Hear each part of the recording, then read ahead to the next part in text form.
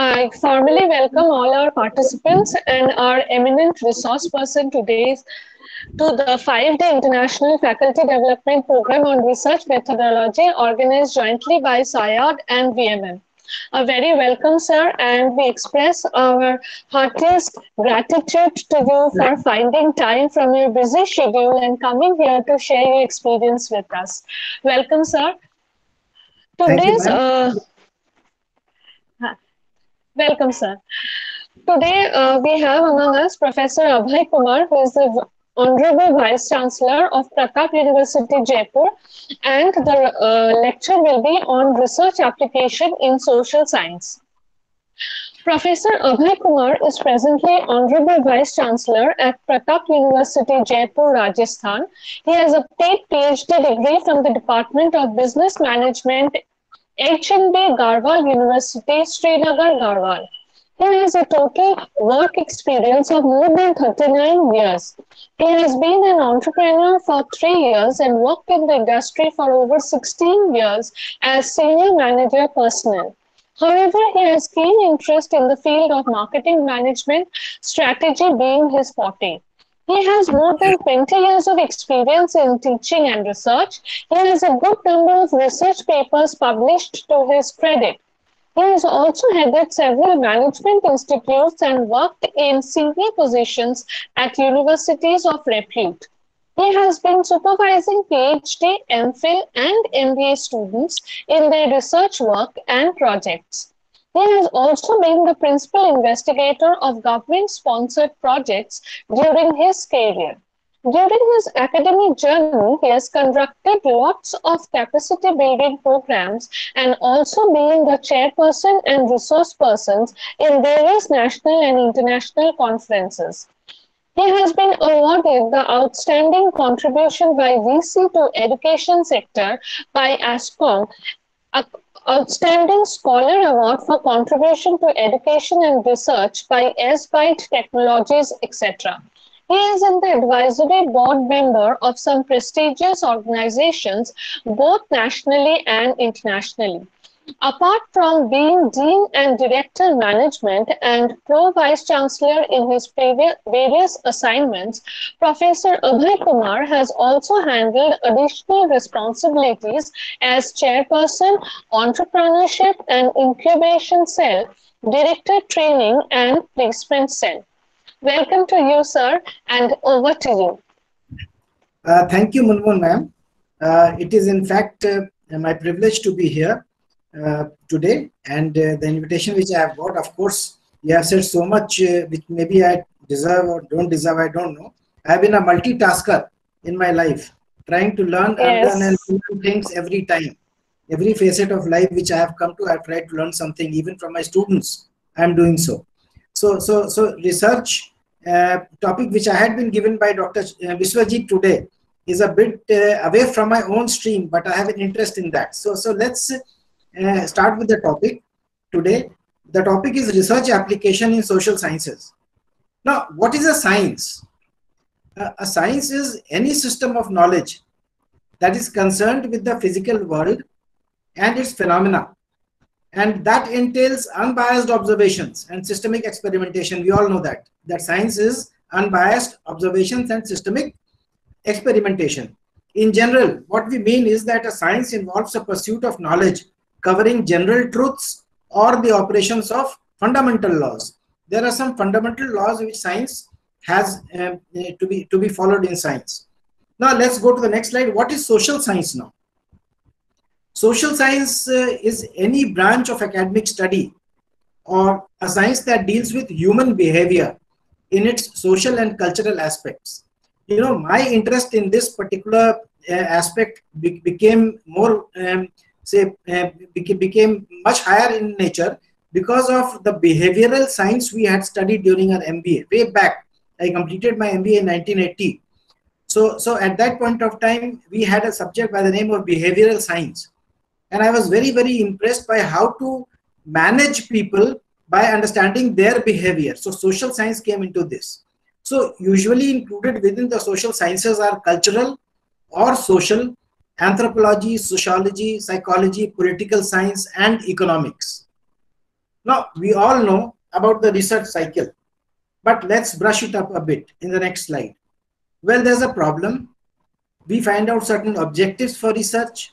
We have a research strategy being formulated, then create a research design, have to do literature review. And this also becomes very important because I see that some of the students I've been guiding and I've been uh, looking for have been doing literature review uh, just for the sake of doing it. Let's not do that. Let's find out the basic gaps actually which exist in that particular topic, which have not been researched upon and still to be taken. We have then to gather uh, data, then to interpret that data, what are our findings, and this cycle goes on and on. That means it is not a one go cycle in my opinion, but maybe you again encounter some problems. You have to change your objectives during the, the process of research. So this is how a research cycle operates. Then we have certain scientific methods. Means we have a we have certain question maybe and what are those questions? What does the scientist want to learn more about? This is again uh, talking about uh, gaps in the literature review and what are the gaps which are existing. It is followed by say research, gathering of information. Then as we all know, we come over to hypothesis an educated guess of an answer to the question. We have termed it an educated guess. Right now, hypothesis is still a guess for us. Then we have procedure or method. That means written and carefully followed step by step experiment designed to test the hypothesis. We have to use certain methodologies by which this procedure or method can be done. Then we have next is the data information collected during the experiment. Again, every step has its own importance. Then we have observations. That means written description of what was noticed during the experiment. That means when a scientific experiment is done, observation is very important. And you know, interpreting that observation is also extremely important. Then we have a conclusion that was the hypothesis correct or incorrect. This is the scientific method of research, and I'm sure all of us are very, very uh, uh, understand, we understand it very well. And during the say past as honorable speakers who have already been uh, giving their thought, thoughts on the uh, research methodology process, they must have talked a lot about it. So, so I'm making it specific to a certain area. Now, what are the various areas of research in social sciences? First, let's talk about anthropology. Actually, I'll talk about these areas with certain examples. Like one example in one research was or can be from the jungle to urban centers, body image esteem of women in three different cultures. Now, what do you mean by that? What is the body image and self-esteem of women in three different cultures ranging from jungle to urban centers? This is a wonderful research which was done in anthropology. The aim of this uh, study is to compare body image, body perception, body satisfaction, body related self esteem, and overall self esteem of women from three different cultural backgrounds. Now, the study had its own findings. But, but the point is, what I want to stress is that in social sciences, there are so many areas in which research can still be done. And this is the era of multicultural diversity in which uh, say the research is not limited to a single department or a single school. We have two or three schools or two or three departments can come together. Engineering can come with social sciences, engineering can come with management, engineering can come with architecture while doing research. So students of two or three areas can, can come together if the topic is such. Then communication after anthropology is example is learning to lie effects of practice on the cognitive cost of lying. Just see. That means ki what is the effect of practice on the cognitive cost of lying? The lying is a cost to us. That means in social sciences, when research is being done as to what is the cognitive effect, what is the cognitive cost of lying, this, this has been researched upon and the findings sometimes are very, very different from what we perceive. Now, other areas can be journalism, for example. Mahatma Gandhi and mass media. Just an example of research. Now, using the example of Mahatma Gandhi, we research that the profession is not incompatible with moral integrity. Sometimes people start thinking that professionalism and moral integrity or ethics cannot go together. No, it is not that. We reveal that there is much we can learn about journalism from Gandhi. His ethical approach to the profession and his view that the media is a means to serve the public provides valuable direction for all aspiring journalists. This is much needed today. We talk about yellow journalism. We talk about journalism in which people tend to have a tilt towards a political ideology or a philosophy. So research in these areas might try to help people who are upcoming journalists to do research in this and become better people and create a better society. So, so why is research? What is the application of research in these areas? Next is philosophy.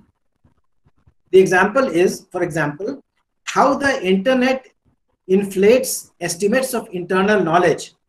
That is, as the internet has become a nearly ubiquitous research. So, so, so we have to understand that the, the internal knowledge from um, internet has to be uh, to a certain extent that we must understand what exactly it has to be. Now, next is psychology. Uh, next slide, please. Psychology is Eh, exploring the relationship, for example, between frequency of Instagram use, exposure to idealized images, and psychological well-being in women. This has been taken up as a research project in India itself. Because here the psychological well-being of women sometimes tends to be compromised.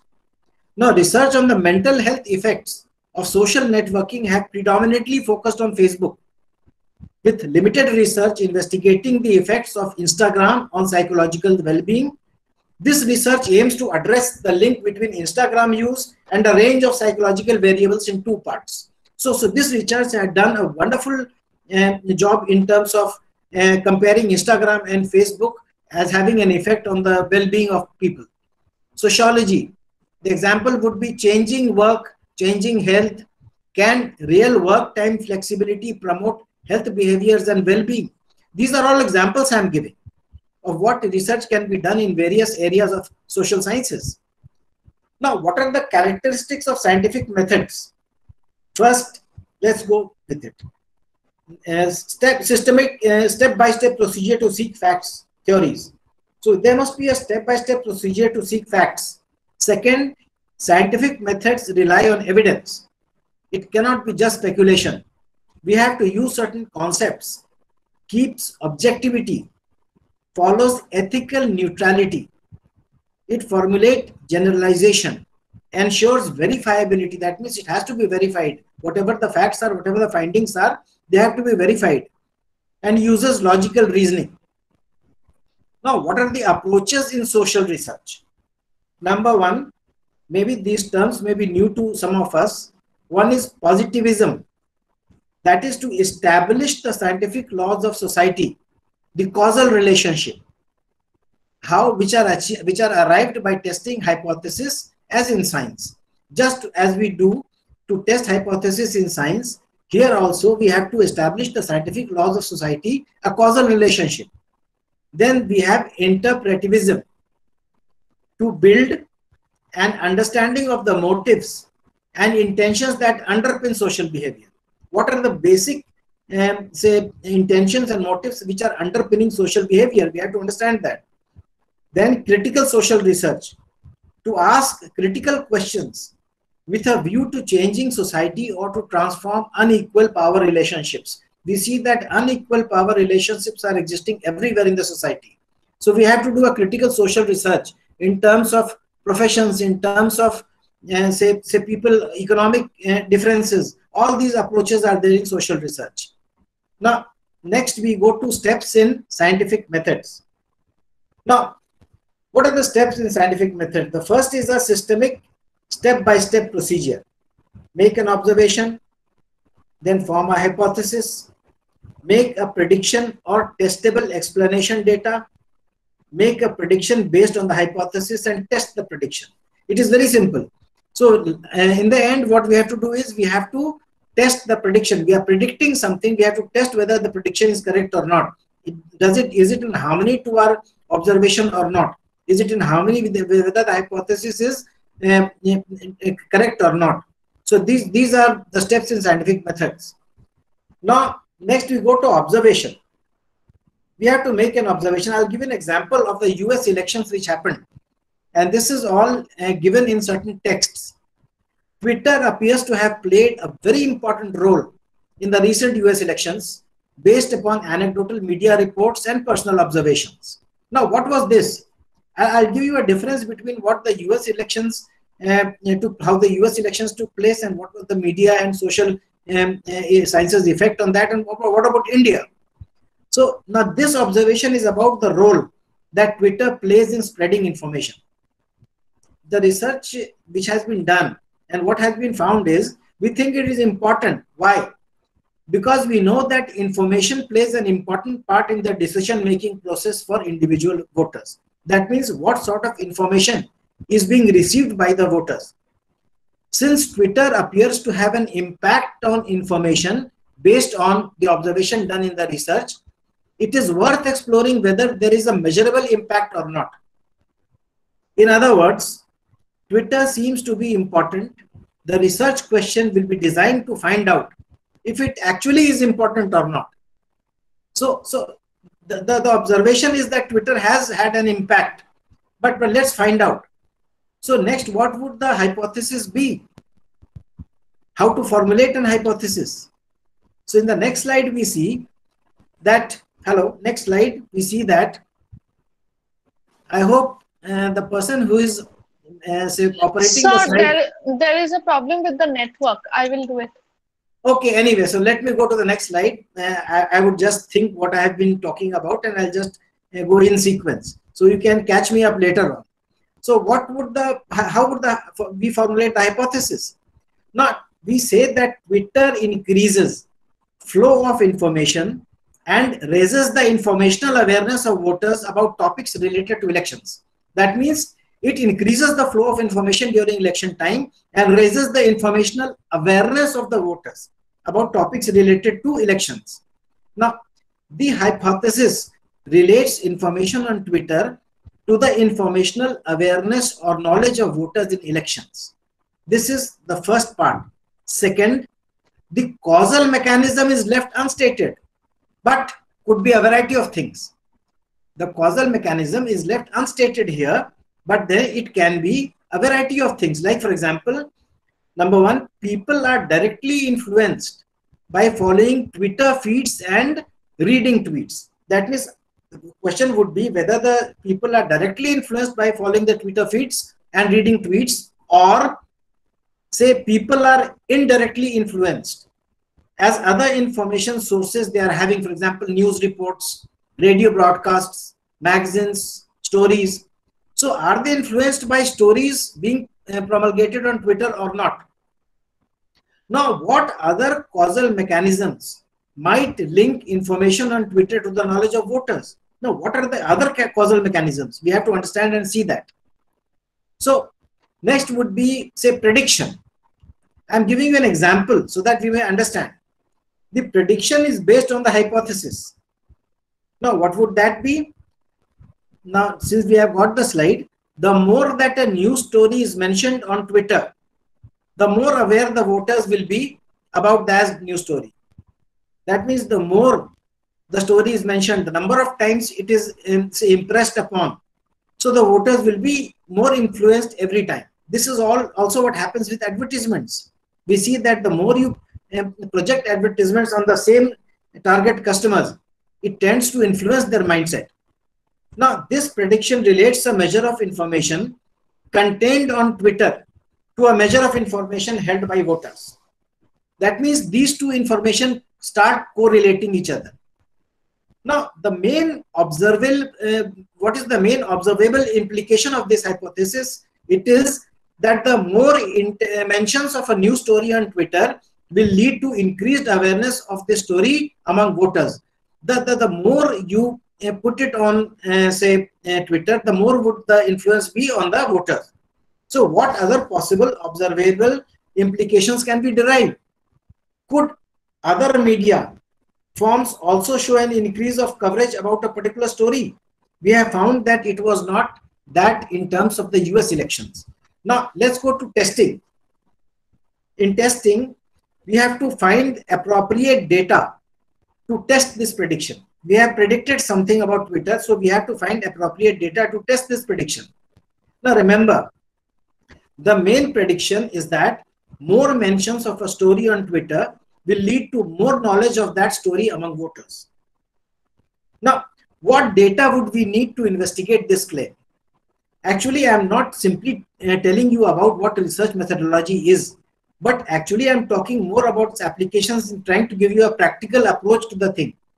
So maybe next time if you call me, I can give you a text on the entire research methodology. So, so let's go and see what data would we need to investigate this claim. The claim is again about the spread of information from Twitter to voters. So we need to measure the information shared on Twitter. What are the counts of tweets? We need to think about what content matter, what tweets should be included, and what time range do these tweets have an effect upon. The slides are coming back. So, so let's have the slide on something like general points on research design.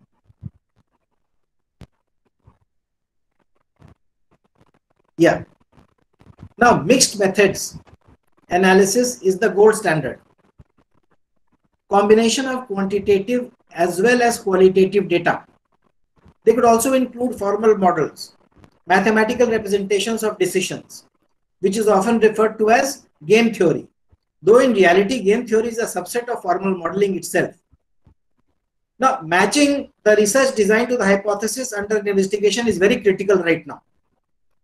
Matching the research design to the hypothesis under investigation becomes critical because how questions are asked and answered.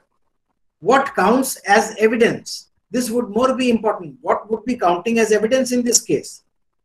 So, so we have to understand about scientific attitude. What is the scientific attitude in the next slide? First is determinism. That means scientists presume that the world is a lawful place where events occur because of other events that are present in the environment. This is how social sciences do. Things do not happen haphazardly in the universe. You must understand that. Instead, things happen because of a consequence of other events happening. This is determinism. Then we have empiricism. The act of objective observation of the phenomena that one is interested in is empiricism. That means if I have an interest in a certain phenomena, the part of the research in which we express our own interest, if we are observing only that, it is empiricism. Then the last scientific method would be experimentation. An experiment is the act of controlling variables to determine the effect of one variable on a phenomenon. Now, the independent variable is the condition that is changed and the dependent variable is the phenomena that is being observed. Again, the independent variable is the condition that is changed and the dependent variable is the phenomena that is being observed. Next would be replication. After determinism, empiricism and experimentation, we have replication. The results of a single fully controlled experiment are important on their own. However, only after uh, say repeated replication can the findings of the experiment be added to the collection of scientific knowledge of a field. That means we have already have a controlled experiment. The results of a single experiment is with us. It is important. But then we have to go on uh, repeating and getting replications of those findings so that we understand that the collection of scientific knowledge in the field is correct and is up to the mark. Replication is the main method used to display reliability of a scientific finding. We all know that. Without replication, scientific findings cannot be um, say accepted. Then we have parsimony. The lay person, that means a layman, would know the word parsimony as frugality. Now, the scientific use of this particular word, parsimony, describes how the most simple and logical explanation of a phenomena should be considered before any highly say contrived explanations uh, examined. That means that uh, how we have to understand the most simple and logical explanations of any phenomena how to consider that before any highly contrived explanations may be examined. That means let's understand the basics first. Now what would be the philosophic doubt? The scientists constantly questions and seeks to set aside preconceived notions or beliefs in order to find the truth of science. All biases have to be removed. Any scientist constantly questions and seeks to set aside preconceived notions or beliefs. If I have a preconceived notion beforehand, before coming to a, for example, I'll give you a layman's this thing. If I come to a discussion um, across the table and I have a preconceived notion, I would never be able to do a proper um, discussion. And this is the same with research. Let's correlate research with our daily lives. In, in, in terms of a daily life, we are doing small uh, say researches and research work every day. Now, inductive reasoning. What is inductive reasoning? That means with observation, we go to a pattern, then we have a tentative hypothesis and a theory. Again, this is inductive um, reasoning. Now, studying several individual cases and drawing a generalization. That means we study several individual cases and draw a generalization as to this is happening. Used when facts are studied, truths are uncovered. Induction involves observation and generalization. A few experimental forms are studied for an example and a conclusion arrived. I'll give you a small example of um, maybe it may correlate or correlate, not correlate to what we are doing. But this is a wonderful example we might have that uh, Harvard had made a 75 year long uh, study on almost 268 undergrads, 75 year long to find out they studied their personal life, their political views, everything. And what was the conclusion? The conclusion was what makes people happy, they had to say the principal investigator said what makes people happy is relationship. So what they found out in the research after 75 long years was that what makes people happy is simply relationship. And we have very aptly understood that during this COVID-19 pandemic, that relationship and empathy plays the most important role. It is neither money nor uh, say pelfs or anything which power which uh, say promotes us to be happy. So, so I'm not digressing from the topic, but since I'm a man of management, so I have a art of digressing means I usually do it in the class as well. So now deductive reasoning from theory to hypothesis to observation to confirmation. This is what deductive reasoning would be. That means here we are applying a general principle to a specific case. Now let's say there's a major premise, all apples are fruits. All fruits grow on trees. This is the minor premise. Now, therefore, all apples grow on trees. This is the conclusion. I'm just simplifying it by way of examples. I'm not saying that this is a, going to be an elaborate research on this topic, but to make you understand if there are certain students also here. Now, false premise can lead to fake results also. Like if I say, most regular employees are sincere. Then I say as a minor premise that Mohan is the regular employee. Then hence Mohan is sincere. Is it a logical relationship? No, it is not. If it is not, then then then what is the uh, cause that not all uh, say uh, say general principles can be applied to all specific cases. So we have to understand that. Now, next we have to uh, be clear about correlation versus causation. Correlation can be confused with causation. For example, number of fire engine at, and damage at a fire site divorce increase and crime increase have correlation but no causation. Now, why this example? One can observe correlation but not cause.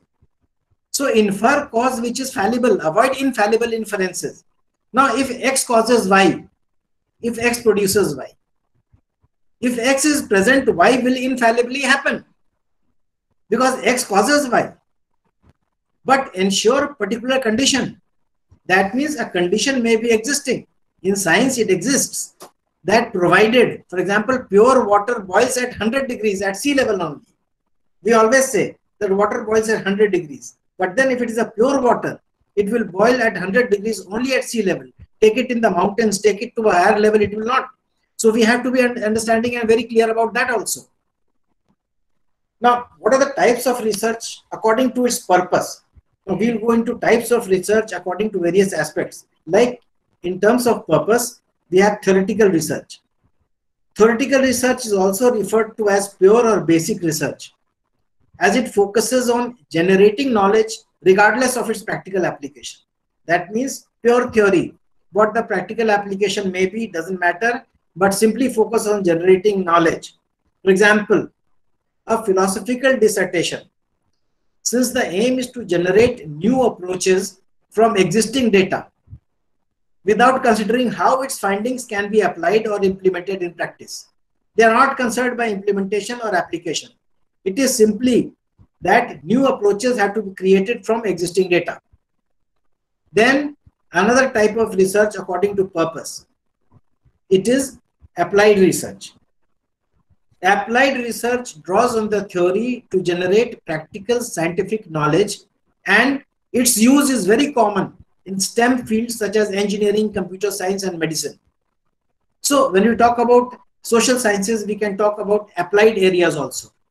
Now this type of research is subdivided into two types. First is technological applied research and second is scientific applied research.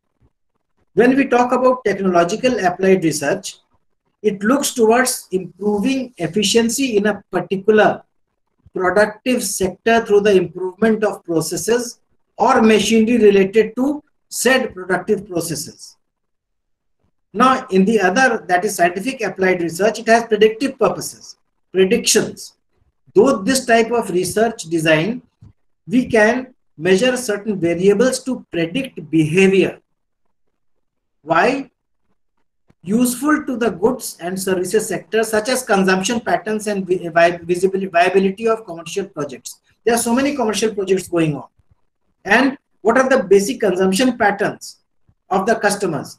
So if we, we have to use this scientific applied research, which has a predictive purpose, we have to predict something.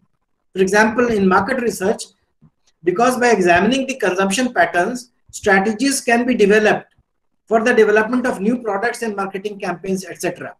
Now, being a man of management, sometimes I use these examples because it is more of a management example. Now, types of research according to its purpose, uh, then we have exploratory research. Now, what is exploratory research? We all know. It is used for the preliminary investigation of a subject that is not yet well understood or sufficiently researched.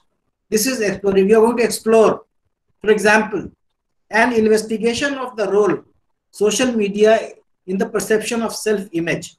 Now, what is the self-image perception that, that we have to investigate in terms of role of social media? Then according to uh, the depth of scope, again, we have descriptive research. In the next slide. The primary objective of descriptive research is to define the characteristics of a particular phenomenon without necessarily investigating the causes that produce it. That means we are not going necessarily to investigate the causes that they are producing it. We have to define the characteristics of a particular phenomenon. For example, investigating how the public census of influential government officials differs between urban and non-urban areas. We see that the uh, uh, difference between, especially in our country, in India, we find that in urban areas, the influence of government officials is very different from that of a sarpanch in the rural area. They have in their own way uh, an influence on the citizens there, but then the influence is very different. So, so this would be help to, to research in this type of uh, research. Now, according to uh, your depth of scope, the uh, say the, the uh, explanatory research is the most common type of uh, research method, explanatory research and it is responsible for establishing cause and effect relationships that allow what they do they allow? Allow generalizations to be extended to similar realities. Well i may be going a bit fast so if there is something uh, which i may not be able to uh, say portray before you all so i would have to uh, during the question answer session maybe i can uh, try to do justice to it. Now, for example, investigating the brittle behavior of a specific material when under compressive load. This every science person, physics person would understand. For example, investigating the brittle behavior of a specific material when under compressive load. When you're compressing it, then what would be the behavior of the material? This is also part of research. Science, I'm talking about. Applied area, social sciences, everything we'll talk about. Now, according to uh, correlational research. Now, what is correlational research? The purpose of this type of scientific research is to identify the relationship between two or more variables. For example, correlational studies are often used in psychology as well as other fields like medicine because we have to correlate what we have to correlate relationship between two or more variables especially in medicine and we are seeing it at present during this um, uh, crisis especially that uh, as as the research is going on in terms of medicine so many research projects are there across the globe. And the best part i would like to intervene to say is every country is helping each other. So so that is how we are sharing information. This is how research should be. In fact from local let's go global. This is my philosophy. So let's be actually when we are having a virtual FDP right now, I think we have already come together. And this is a platform we must use not only for, uh, say, bettering our research process, but also to understand each other better. Now, the next would be as qualitative research.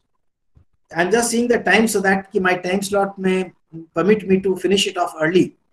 So, qualitative research would be these are often used in the social sciences to collect, compare, and interpret information it has a linguistic semiotic basis and is used in techniques such as discourse analysis, interviews, surveys, records, and participant observations. For example, examining the effects of sleep deprivation on mood.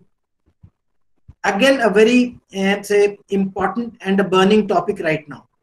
People are investigating a lot about the effects of sleep deprivation on mood as of now because it, it is being said that people are losing their sleep during this crisis out of a fear psychosis. And it is having a deflection of mood in different areas. Sometimes they are too high on mood. Sometimes they become too low. So this research can be very important. Then again next we would be having um, say qualitative research. Uh, uh, after that we have said it delves into phenomenon i have already talked about through quantitative data quantitative research. Collection and using mathematical, statistical, and computer aided tools to measure them. We all know this. What is quantitative research? For example, conducting a computer simulation on vehicle strike impacts to collect quantitative data. Again, we are using so many vehicles. Now, what would the impact of a strike on our vehicle? So, conducting a computer simulation is again a sort of a research in which we collect quantitative data to understand and the durability of a vehicle is determined because of that it goes into industry. Now we have experimental research. It is about designing or replicating a phenomenon whose variables are manipulated under strictly controlled conditions in order to identify or discover its effect on another independent variable or object. Now, example I'll give so that we may understand. Randomized controlled trial studies for measuring the effectiveness of new pharmaceutical drugs on human subjects. It is going on right now. This research is going on right now. So many vaccines are being produced, and we are happy that the vaccines have come into the market. And what is happening is randomized controlled trial studies have been done and are still going on for measuring the effectiveness of the new pharmaceutical drugs on human subjects. Because still there is a controlled randomized trial. Trial can be in many phases how can we understand what the after effects of the drug would be? And how will be the drug affecting our body? For example the coronavirus uh, in itself has a is a single rna whereas in our body we have a uh, say intertwined dna now how would that single rna affect the body? And how would we be able to control it? So this is experimental research. And then we come to non-experimental research. It is also known as observational study that is, it focuses on the analysis of a phenomenon in its natural context. How? For example, a study on the effects of the use of certain chemical substances in a particular population group can be considered a non-experimental eh, study. Now, what do we mean by that? Certain chemical substances in a particular population group. Now, if we say that, say we have 60 plus age group people, what would be the effect of zinc? What would be the effect of zinc chloride on them? Because we are saying that right now, let's have multivitamins which contain zinc. So what would be the effect on the group from 60 plus? What effect would we be having on a group of 45 to 60? So this would be a non-experimental research where we would simply be understanding what is happening. We have a quasi experimental research next. Next slide shows that this it controls only some variables of the phenomenon under investigation and is therefore not entirely experimental. How? It only controls some variables. Because in an experimental sort of a research, variables are fully controlled. For example, assessing the effectiveness of an intervention measure in reducing the spread of antibiotic resistance bacteria. Again, we have come to medicine because this is the burning situation right now. So I'm talking about uh, pharma, especially examples of pharma, because everyone is reading it on WhatsApp groups and on Facebooks. So, so let's understand research more with examples of that. The effectiveness of an intervention measure in reducing the spread of antibiotic resistant bacteria. Now, if a bacteria becomes resistant to certain antibiotics, we have to study the effectiveness of an intervention measure. What, what sort of intervention measure should be adopted to make the resistance, lower the resistance level of that bacteria. Then we have deductive investigation in the next slide. In this type of research, reality is explained by general laws that point to certain conclusions deductive research, we have inductive research. I'll go through these uh, a bit uh, uh, with a more speed. So in this type of research, knowledge is generated from an observation to achieve a generalization. Actually, it takes a lot of time. This this particular um, say PPT which I might have prepared would go in for full day if you would have uh, that much time uh, with explanations and examples. Now, hypothetical deductive investigation. It is based on observing reality to make a hypothesis, then use deduction to obtain a conclusion and finally verify or reject it through experience. That means our experience helps us in that. Next would be longitudinal study, also referred to as diachronic uh, research. It is the monitoring of the same event, individual or group over a defined period of time. For example, a cohort study that analyzes changes in a particular indigenous population over a period of 15 years. I'll give you another management example. Say it was way back, many years back, Walter Mischel, who was a, teacher in uh, Stanford, she, she used the marshmallow test. And what was that? That was in a class, in a cohort, say, of about 30 or 40 students, young students. She gave two marshmallows to each of them and said, do this particular job which I'm giving you. If you complete the job, you can eat these two marshmallows. However, if you wait for me to come back, I'll give you two more if you don't eat it at that point of time. Everything was being seen with a camera. Now it was seen that about 85% of the students and more than that ate the two marshmallows. They could not wait. The rest, about 10 to 15% waited and when the teacher came, they gave them two more. They ate four marshmallows. Now, these students were tracked for the next 15 to 20 years of their career. And what was observed was that those who believed in delayed gratification were more successful in their life than others because they could wait for the actual results to come. Now, this is how researchers are done. Then we have a cross-sectional study, also referred to as synchronous research.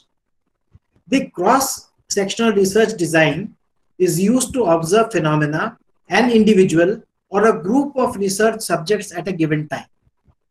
Then we have longitudinal studies. I have already told you that, I think. Now, what do you mean by research design? I'll skip one or two slides. A research design, in fact, is a framework or a blueprint for conducting research. We all know that. It specifies the details of the procedures which are necessary for obtaining the information needed to structure and or say uh, uh, observe the research problems or solve the research problems. Next, define the information needed, design the exploratory, descriptive, and or causal phases of research. I've talked all about that. What were the exploratory, descriptive, causal phases? Specify the measurement and scaling procedures. Construct and pre-test a questionnaire, interviewing form, or an appropriate form for data collection. Specify the sampling process and sample size. Develop a plan of data analysis. Then, then what would the final points which I say purport would be the social scientific research method is designed to answer questions or solve puzzles empirically. Theory and observation are used to develop hypothesis. Evidence that is, is used to test the validity of the hypothesis. The hypothesis links theories with expected evidence. Then data analysis can take many different forms. Quantitative, typically takes the form of statistical analysis. Then qualitative typically takes the form of case studies in management especially. We, we believe we, we are uh, based, most researchers are based on case studies also. Now there is an important role right now for all types of research and all types of researchers. Why? I think I must say thank you because I've uh, cleared with the slides, but then I want to talk more um, without the slides as well. I think I have five or seven minutes more. So uh, when, when we talk about, uh, uh, say, uh, uh, research work, I think I would not talk away from the research methodology topic and give something which is in my mind. Uh, even the new education policy has talked about research in India. We say fall way behind in terms of uh, research which can be translated into industry that means research should not be limited to libraries. Research should not be limited to attaching a DR before our names. We must do research so that it benefits the society. And that is how the Western world and even China these days have been progressing. Because when we do certain research as faculty and teachers, we must do it in coordination with the industry. And once we do it in coordination with the industry, they must give us what we have to uh, say research upon and we must tell them what the findings are. And that those findings must again go back into society in terms of a product or a service. And that is the most important thing. So so when we talk about research methodology when we talk about the the steps of research methodology everything is fine but we must have a mindset for research we must get a mindset created within ourselves for research now for example we talk about startups especially with make in india say we have talked about startups, how to um, say create new ventures. We have venture capitalists and whatnot. But in my opinion, I beg to differ on certain things. We can teach a student finance, mathematics, sciences, accounts, engineering, everything we can teach. But then what matters most, we can make him an entrepreneur. But uh, uh, if uh, I remember one book I had read in the 1970s, uh, probably if I remember, it was it was John Spencer.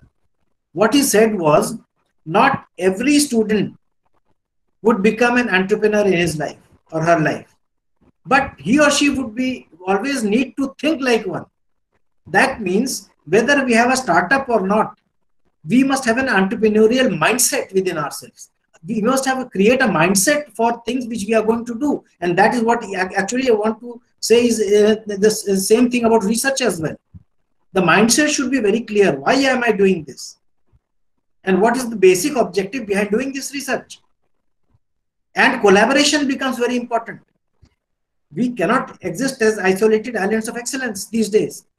Even between faculty and teachers, let's collaborate. We have senior teachers, we have junior ones. Let's help each other. The junior ones are more technologically savvy, the senior ones have more experience. Let's involve the students in research. And that is what the New Education Policy 2020 says that even in the school level, certainly internships are being given and research is being promoted. So, so that is all I have to say. Thank you so much. Thank you, sir, for a very inspiring and detailed uh, presentation uh, into the types of research along with the uh, very lucid and uh, clear examples. The examples were very, very good, and the, I, I hope that the students, uh, uh, sorry, the participants have also enjoyed it as much. So now I request uh, the participants to ask their questions. Yes. Good evening, sir. Uh, Good evening. Good evening, sir. Sir, I have some. I have few questions, not one question, sir. Three. So Okay, great, be- great. It will be great if you just uh, listen to me per, with a patience. Yeah, please. So first Uh, thing- Mr. Rakesh, go one by one. Ask me one question Okay. first. Okay, so first thing, sir, in the some concepts where which, which you were showing in the first part of the slide, there you Yeah. showed two concepts like empiricism and uh, parsicism like that. Okay, so can you Yeah. give me two examples of that? Means any example because I want to know the concept. Yeah, why not? I think you want to talk about positivism. Posit- no, sir, positivism not. It's the empiricism.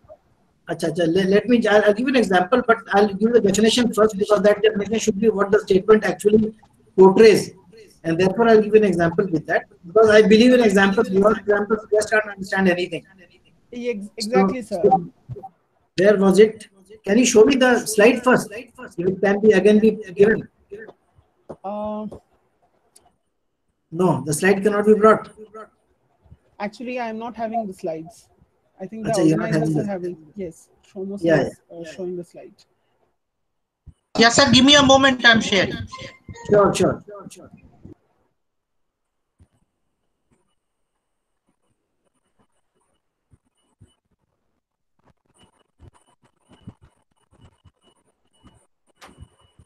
You were talking about replication, parsimony, and others. Yes, yes, yes. Is that that that? Okay, okay, that okay, okay. I'll give an example. example. Now, uh, you were talking about probably um, replication first. Um, uh, no, sir. Empiricism. Parsimony. Yes, parsimony and then empiricism. Okay. Now, what is parsimony? parsimony. The layperson knows the what parsimony is a frugality, said. Now, what would be the scientific use? The scientific use of the word describes how the most simple and logical explanation of a phenomena. I have said that how a most simple and logical explanation of the phenomena should be considered before any highly contrived explanation is examined. Means, what I mean is that you must start from the basics before going into very highly contrived explanation and examine them start from the base of simple and logical explanation because what is happening in research right now is that we tend to talk about very um, say highly placed explanations of things. Let's not do it. Let's start with small and simple and logical explanations of any phenomena especially in scientific research and then consider any highly contrived explanations after that. Okay. This is what i mean. Thank you, sir. Uh, and the second second question is, sir, uh, Yeah. you said an example like uh, not in a non-experimental research that the 60 years people, suppose if we consider the 60 age of uh, people, if we are giving them the zinc chloride, then the, it's it's it's uh, no, you according to you, you are telling that it's a non-experimental research. But sir, I no, no, no, no, no, no, no.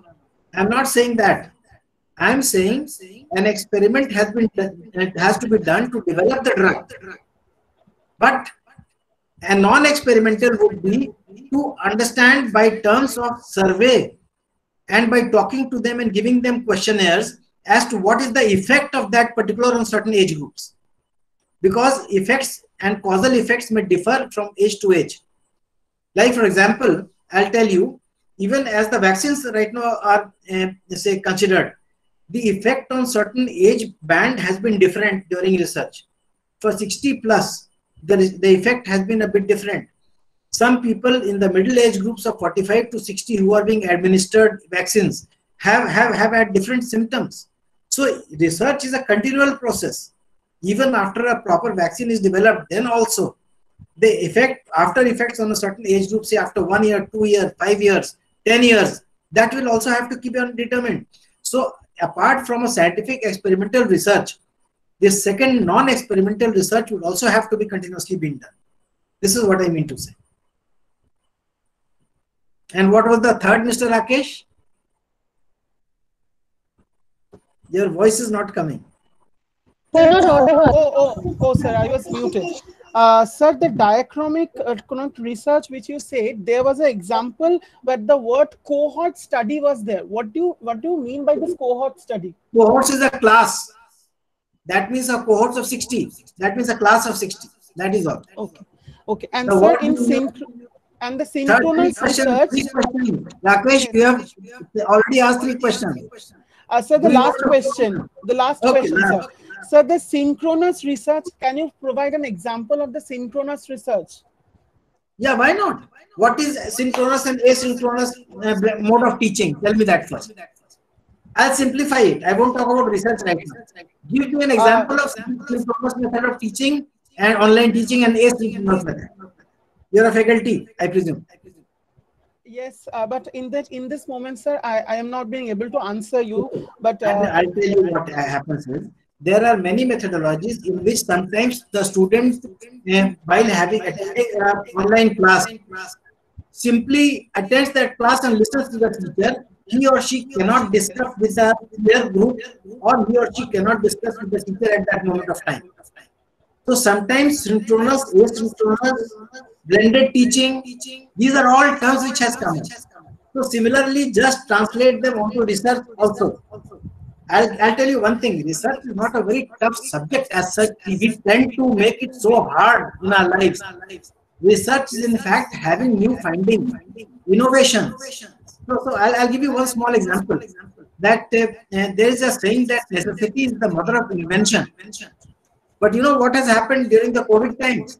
Necessity has become the mother of adoption.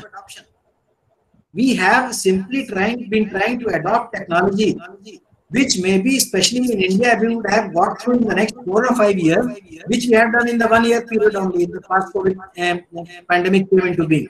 So what is happening is research becomes faster and we tend to do things better when we have a crisis. So we, we, we, are, we are better crisis managers in fact. I'll give a small example. Before the crisis, India was not able to produce a single kit. Okay? It was all being imported, not a single ventilator. You won't believe me.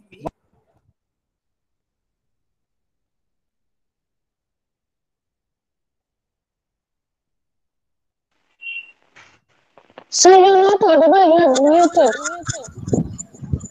Sorry, Ra- Rakesh, you were listening to me, you were nodding your head and you never told me that I was muted. no, sir, actually, all of a sudden you go silent. That's why I was thinking. I just want to say, but you were just uh, all of a sudden Okay, the voice was not coming. You should have immediately told me that uh, I was uh, muted. So, in fact, I wasted my message. Okay, anyway, till, what was the point till which I was talking to you? Yes, sir. You was telling that uh, India uh, before the pandemic, India was not Yeah. being able to make the PPE kit. In two to three months' time, and maximum four months, we were producing four lakh PPT kits, PPE kits every month.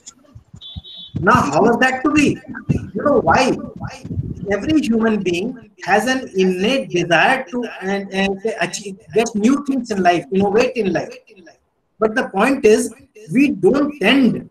Sometimes we, are so introvert in ourselves, we don't tend to bring it out. That is why it is the ardent duty of all teachers right now to bring out the latent talent within each student. Bring it, become mentors, guides. Don't become teachers simply. I'll tell you, I am a big proponent of the ancient Guru Shishya Parampara. I believe in that. I believe personally that maybe I am a father of two biological children, but I am still a father of more than 5,000 children right now in my university. So that is how you should think. Every teacher should think. So this is how research is an unending process in life. It is continual. Let's not limit it to research methodology or something.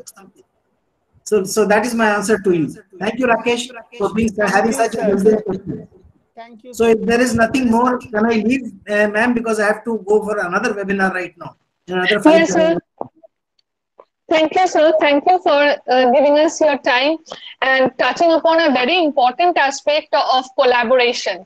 Thank you, sir. Thank you for Thank your you, presence Thank you so and much. I'm. I'm very obliged to SAIARD as well as your college, and especially yourself, ma'am. You have conducted and moderated the thing very well. And my, my sincere thanks to all the participants today, the audience especially, who have been kind enough not to push so many questions at me which I could not answer. So thank you so much. Thank you. Thank you, sir. Thank you. Thank you.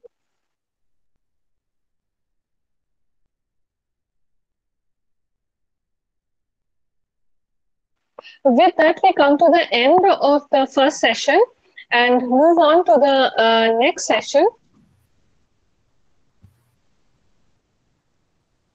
Uh, the second lecture today we have is on research methods in the sociology of international relations, exploring methodological innovations by Dr. Irina Elper, who is researcher Asia Asia Pacific.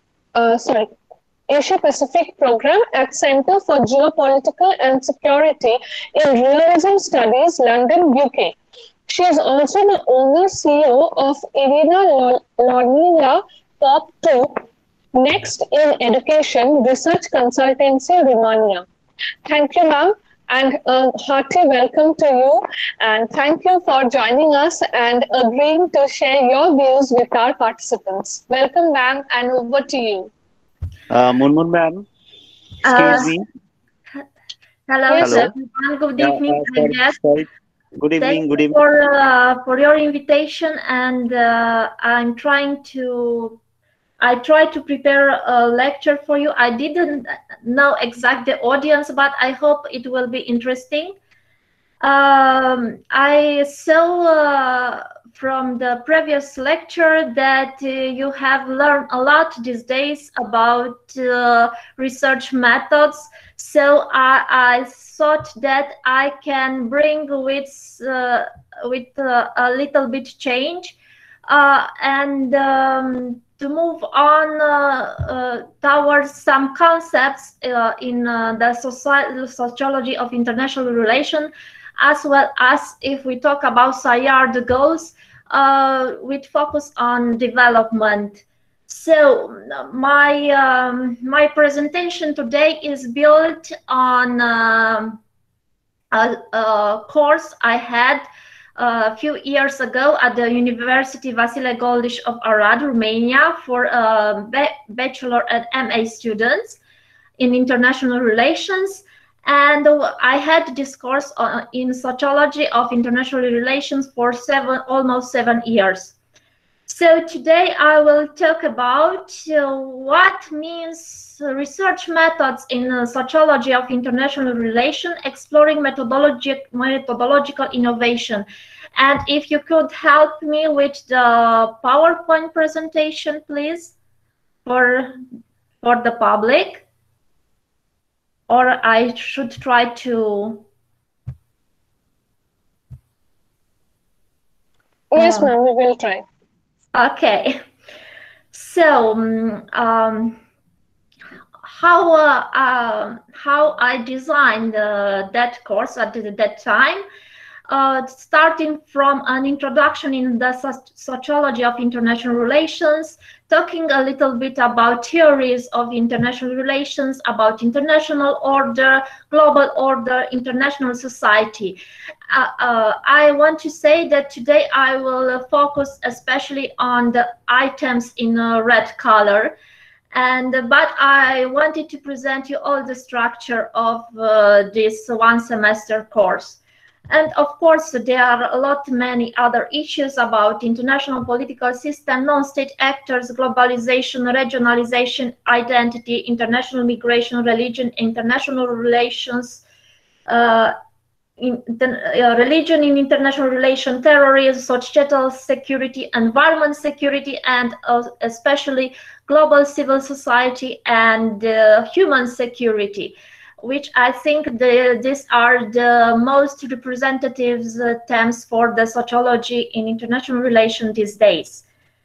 Um, going further, of course, uh, your question would be, what is sociology of international relations? Uh, it studies uh, international relations for, uh, as social facts, if we can say, analyzing their effects over societies, groups, social actors in general.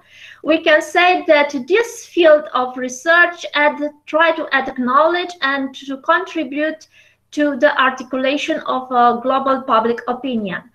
Uh, for most researchers, the sociology of international relations has developed from political sociology.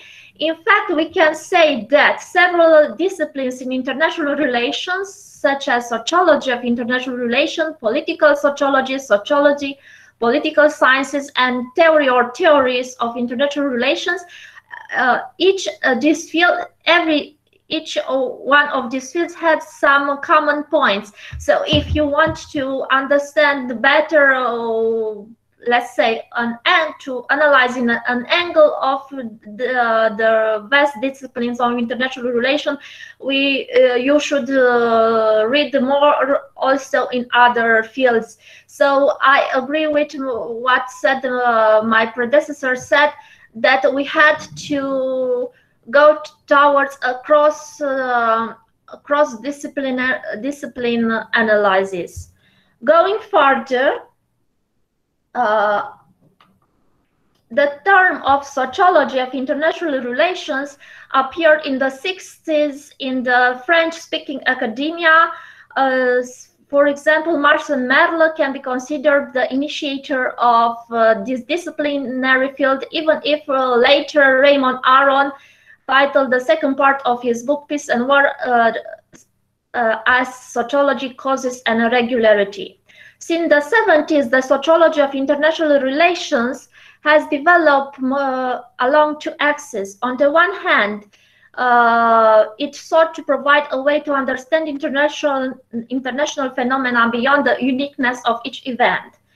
So, influenced largely by the deep force of Renouvin or Duroselle, the French-speaking tradition proposed a classical structure for the study of international phenomena, making a distinction between the environment forces, actors, and the international systems. Uh, this principle of approaching international relations has been and always is influenced by the ubiquity of at regular interval, intervals of international stage, imposing a political reading focus on violence uh, or security totally disconnected from social gains. Consequently, the sociology of international relations tended to be dependent on international events. Flourishing in periods of calm, during phenomena, it appears unable to provide satisfactory answers in times of tension, and the confrontation of powers becomes the dominant concern again. Paradoxically, this sociology fa favors empirical studies. The second uh, direction uh, uh, consists in the tendency to apply the international relations, the tools of political sociology. This methodological contribution has been an important production in the liter literature since the early 90s, when sociologists paid more attention to the in, uh, international, we can say. Uh, the vast area of international relation is by definition interdisciplinary, as I said. Uh, for example, in the 50s, Quincy Wright listed no less than 23 disciplines at the time on international relations. There are two ways in which sociology can uh, be useful for the study of international relations as a theory or as a set of research concepts and methods. Uh, sociological theories influence the study of international relations directly when it deals with issues of international relations with punctual events and facts, and of course indirectly when applies sociological concepts uh, in the study of foreign, for foreign policy. For example, national stereotypes, aspirations, values, standards of behavior, context with other countries. Uh, Manisha, if you can mute your microphone. In conclusion, the sociology of international relations studies international facts as social facts, actors of international events, their power and objectives, the means, tools, and techniques of international action, and of course, international events. Going a little bit further, I will talk about theory of international relations. Uh, theory as a con conceptual field uh, uh, must take into account such social, philosophical, and ontological aspects on the one hand, and historical and epistemological uh, aspects on the other hand. So uh, when we talk about theory of international relations, uh, we talk about the history of ideas of international relations, about social philosophy of international relations, history of international relations as a scientific disciplines, and epistemology of international relations. I had added a, a smart uh, figure, a small figure about what uh, each each direction means uh, for the theory of international uh, relations. And uh, for example, the history of ideas uh, refers to description of the gene genetic development of concepts, problem definition, and doctrines of thought in and about international relations, description uh, of the process of doctrinal and conceptual development, uh, in the history of international thought.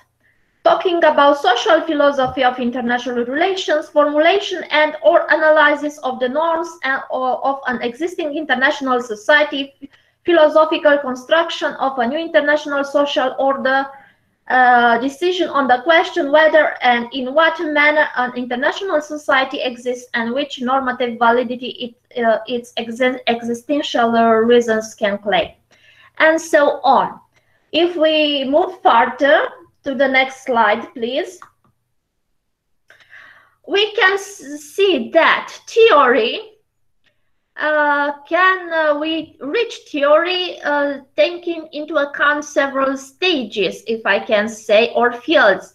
So from concept, we uh, try to go to a construct, to a type and typology then we should we try to um, build a, a, conceptual framework.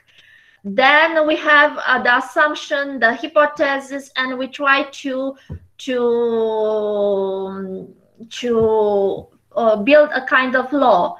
Then we uh, go to axiom proposition theorem or doctrine. And finally the most complex is the model uh, in the scientific worldview and uh, the most uh, complex is of course the paradigm in the international relations theory. So uh, if we talk about types of theory we have historical sociological theory inductive or empirical theory and of course deductive or system analytical theory. About this uh, my uh, previous speaker the previous speaker also said more uh, facts. So I think we can move a little bit to the next uh, to the next uh, figure. When we try to uh, to describe the reality, a theory must uh, fulfill several functions and uh, these functions to, it, the theory tries to describe to explain and to link with other theories. So uh, the theory in general have a constitutive function and an interpretive function an orientative function a goal defining function and a legitimation function.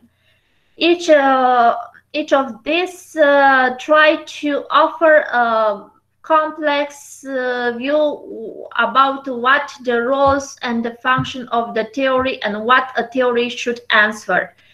Uh, but I want to make a, a, pair, um, a comment here. Even if we talk about research methods and theories and research uh, theories, in international relation, and uh, not just there, and research models and so on, I think uh, the the our goal should be that we should try to use the theories and the research methods methods in, um, in for the use of, uh, of the real society. I mean, uh, we have to find concrete solutions to our biggest problems. So not just doing research for research, but doing research for society. This, I, this I think I should uh, emphasize. Moving to the next slide, please. Um, about the development of theory and theories in international relations, uh, I, I try to offer a kind of uh, sketch about each uh, theory, how uh, the how uh, it appeared uh, the, in time, and of course with um, every modernization in the discourse.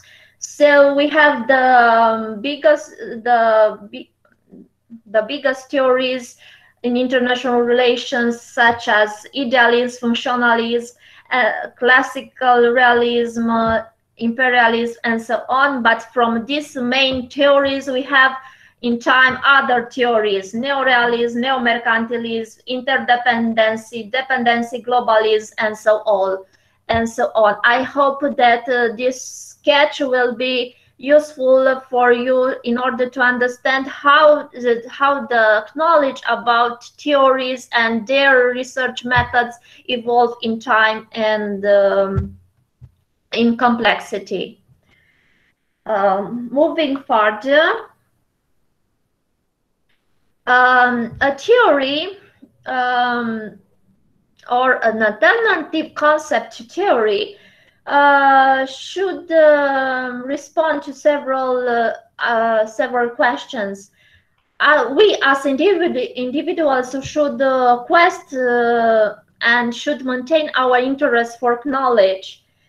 And another another assumption is that real historical, socio-economic, and political genetic context we must take into account.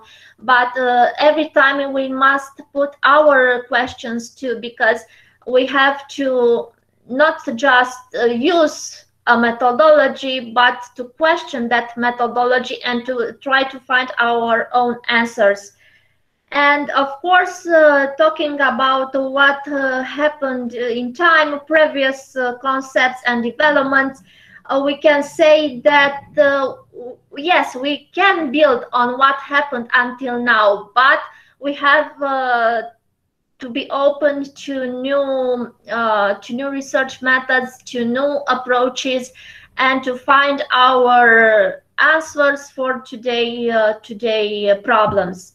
So uh, I think a theory so should explain uh, on the one hand and uh, also bring bring some uh, light in other aspects.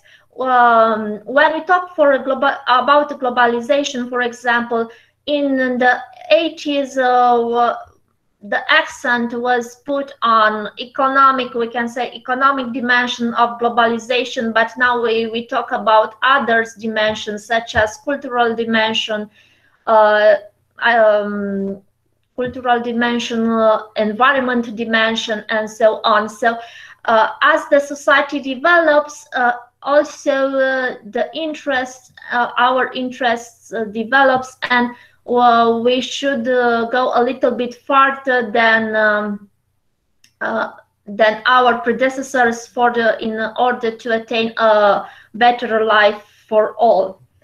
So let's go a little bit far further what is international order? International order is a very important concept in the sociology of international relations we can say it is that framework of activities which supports the elementary or primary purposes of the state these are the preservation of the system and society of states, maintaining the interdependence and external sovereignty of states, peace, and the common goals of social life for example, limiting violence through cooperation, the stability of possession, and so on. So we have to make a distinction between states, the system of states or the international system on the one hand, and on the other hand, we have the society of states. Uh, the society or states or the international society, in fact, uh, uh, some researchers said that this is, should be the future uh, in the development of humanity. When a group of states based on common interests and values form a society in the sense that they are bound by a set of common rules uh, in their relation and share work within common institutions. In Martin Wight vision, international society is the expression of cooperation in international affairs the existence of a dip dip diplomatic system, international laws, and institutions. It is, uh, it is defined by the following features, such as unique society made up of other more organized societies, called states. The number of its members is always smaller than that of ordinary society. Its members are mo much more heterogeneous with differences in territorial size, posi position, geographical resources, population, cultural ideals, and so on. Its members far exceed the lifespan of people, the absence of a world state and the coexistence of a large number of so sovereign states do not invalidate the term of international society. In fact, some authors says, said, say that um, the most important proof of the existence of an international society is the development of international law.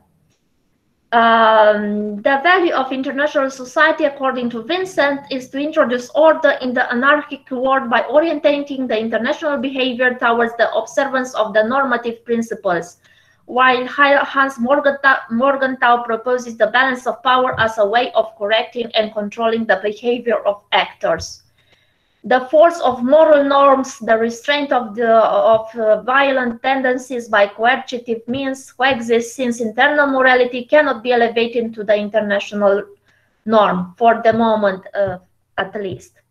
The next slide, please. Um, Order international society is the consequence of the perception of common interests related to the basic purposes of life the rules that prescribe behavior and the institution that ensure the effectiveness of these rules. We have uh, several concepts here. The common interest in uh, meaning that states are united by common interest stemming from fear of violence, fear of instability, of agreements, fears of insecurity. The rules, the international society, in international society, the rules can have the status of international law, law moral rules, habits of practice, operational rules. And the third one is the concept of institutions. States themselves are the main institution of the Society of States. The states administer the rules of the international society directly or indirectly through international organizations. Um, talking about societal security, it's a um, concept which appeared in the context in the 90s in the context of European School of Security, uh, especially, uh, and it was uh, represented by the institutes such as uh, from Copenhagen and Stockholm, and um, it is represented by um, by authors like Ole Wæver and Barry Buzan. In Ole Wæver, understanding society is a human entity resulting from, from a process of coexistence and association between people and groups that carry a number of common attributes, such as race, ethnicity, language, history, geography, and that express common feelings such as identity, symbols, and values. Classical European so sociology, um, and I, uh, um, I um, uh, mentioned here, Spencer, Durkheim, and Tönnies highlights the contractual nature of the association, uh, the moral and the organic character of society. But at Ferdinand Tönnies, society is an association and a community at the same time. It is an entity with its own identity. Max Weber, a nation is a community of feeling that will adequately manifest itself in the form of uh, its own state. The state is a part of society and society is more than the state. It's the other side. In this situation, secu state security is not always the security of society. And societal security refers to those threats to the foundation of the state, primarily of, of a moral nature. So today we can say we have political security, which um, uh, many times is associated with national security, individual security, or physical security of individuals, and societal security, uh, meaning moral security of the society. So as you can see, um, such uh, the advantages of uh, the societal security uh, First, it allows bringing pressing issues of identity, migration, terrorism, trafficking on the current security agendas and provides a unified explanation of the dis disruptive processes in the field of integration and disintegration. Secondly, uh, it identifies one of the key weaknesses of integration theories, namely the lack of references for identity issues. And talking about Europe uh, here is um, the case of European Union and the difference between uh, national publics and uh, the elite from Brussels. And certainly, social security provides an extension of security theory. So, uh, European School of Security considers that in the midst of, more, of modern and postmodern debate on the state, which implies a weaker, weaker states, society can take over some of its responsibilities. Okay, uh, moving a little bit to the environment security, um, as we can see, due, due to the pollution and in the last decades, we are confronting with um, with many problems such as food crisis, energy crisis, um, environment crisis, and all kind of uh, meteorological uh, disasters. So environment security is very important for sociology, for globalization, and for a lot of fields. And it should be taken seriously into account uh, at, also at the level of international organizations. Environment security encompasses the interactive dynamics of the diverse human and natural networks that constitute the modern world. Furthermore, environment as a resource has strategic significance for nation states, uh, for uh, their natural resources like water, oil, gas, and various other minerals. But increasing state control over environment and natural resources has spillover effects such as environmental degradation resulting in undue catastrophe. This includes uncontrolled migration, high population growth, and human casualties. Such catastrophes have become real security concerns for the affected states. This is an extract from Matthew and McDonald's from 2004. Okay. In Adelphi paper, Shaukat Hassan discussed the relationship between the environment foundation of a nation and its effect on the economy. According to his argument, continuous environmental, calamities decrease the economic growth of a nation, hamper its social cohesion, and destabilize its political structure uh, environmental change reduces economic opportunity for a country by causing demographic displacements within states and across international borders. And the unexpected movement of population across the international border raises political tension between neighboring countries. And I'm sure that uh, you can find the very many uh, examples. There are many debates on environment as the primary source of conflict or cause of war. For example, Alan Dupont argues that environment, environmental difficulties are unlikely to be the primary cause of major conflict between states. Environmental issues, according to the Dupont, interact with more direct causes of conflict to prolong or complicate existing disputes. For example, uh, environmental degradation can create refugee crises between two neighboring countries. Daniel Deudney has also opposed considering environmental degradation as a reference object of international security. According to Deudney, the concept of national security as opposed to national interest or, or well-being has been just centered upon organized violence. He gives the example of natural calamities like earthquakes or hurricanes that had caused excessive damage. Um, okay.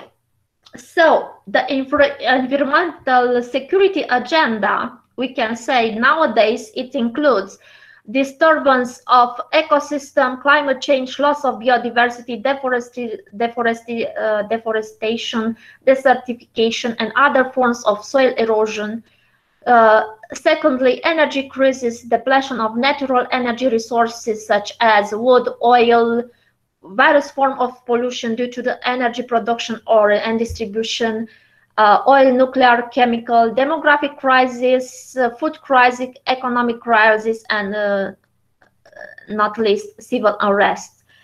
So um, we can see how, how important is the environment in a globalized world today. And we can say that also maybe the environment uh, can be also the cause of the current pandemic, who knows. So because if uh, the human, uh, if the individual um, influence the nature so much in order to attain economic goals uh, there comes a time when the nature comes against us. So maybe this uh, environment uh, crisis uh, should be um, should be a very important item of the security international security agenda and finally about global civil society what is global civil society? Uh, I must say that we still not have a global civil society, but we have some incipient uh, incipient uh, trends of constituting of constitution of a, a global civil society. Uh, this should be, in my opinion, a world in which all people recognize and respect human reality and the value of all others. A world where people are brought together through cross-border civil associations, local, national, internationals, a world where people share a sense of justice, they share a basic agreement on the basic requirements of the justice, fairness of the institution that governs their lives, a world where all people have reason to hope for the future, a world that provides the right access to these opportunities and that their children will have better lives than their parents had. So I hope that we as humanity can evolve, evolve in some in a global civil society in which every individual has its place and his right to a happy life. So moving forward, we arrive finally at the human security concept. Uh, this is uh, a concept, um, um, if I can say, um, projected by United Nations systems at uh, the, the end of previous century. And uh, human security includes several dimensions, economic security, food security, health security, if we talk about pandemia, environmental security, personal security, community security, and political security. So as you can see, uh, human security uh, refers to the security of the human being, uh, analyzed from every point of view. Uh, in the contemporary world, uh, we must take into account all uh, these dimensions when we think about when we think about um, public policy at the level of a state. Um, when we talk about um, let's say, um, about global problems in, interna in international organizations. Uh, in such an interconnected uh, world, we still must focus on individuals. So this, uh, I think, would be a it, it will be and it is a major challenge for the United Nations systems, and um, maybe we can link with um, uh, sustainable development goals um, and um, of course when we talk about human security we must talk about uh, this uh, these goals. So uh, when we talk um, about human security approach um, and principles we can say that human security is people-centered, is multi-sectoral, comprehensive, context-specific, and prevention-oriented. So uh, this is another very important aspect that we have to prevent and, and not just let it happen. It, uh, the prevention is better than finding solution after an event occurs. So um, when we talk about people-centered principles, in human security should be inclusive and participatory, open, open, flexible. And when we talk about multi-sectoral, uh, we have um, we have in mind that should promote dialogue among different actors from different sectors and fields. and of course um, help them to ensure coherence and coordination across uh, traditionally separate sectors and fields. When we talk about comprehensive, uh, of course, um, we have uh, to maintain our vision, our holistic analysis. I mean, uh, okay, we study in sociology and in other of international relation and in other fields affect an event, but in the same time we have uh, uh, to have we have to see the uh, the whole part, the whole system context specific and of course uh, prevention. Uh, further little please. Okay. Um, a very useful um, I, uh, guide for uh, development strategies is the Human Security Handbook and um, I consider it like uh, as a starting point for the uh, any kind of strategy.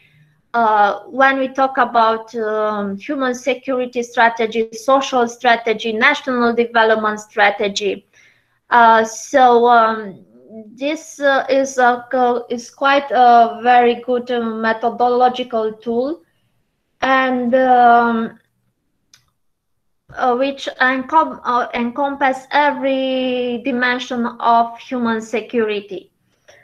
Um, when um, we talk about development in general, I think um, there should be a very large, there should be very large consultations in the articulation phases of the strategy. And I mean that uh, the decision makers should um, should um, attract more the researchers, uh, the actors, economic actors, the NGOs, and all social groups interested in some issues when uh, they are designing a strategy. That is a human security strategy, uh, an environment strategy, a national development strategy.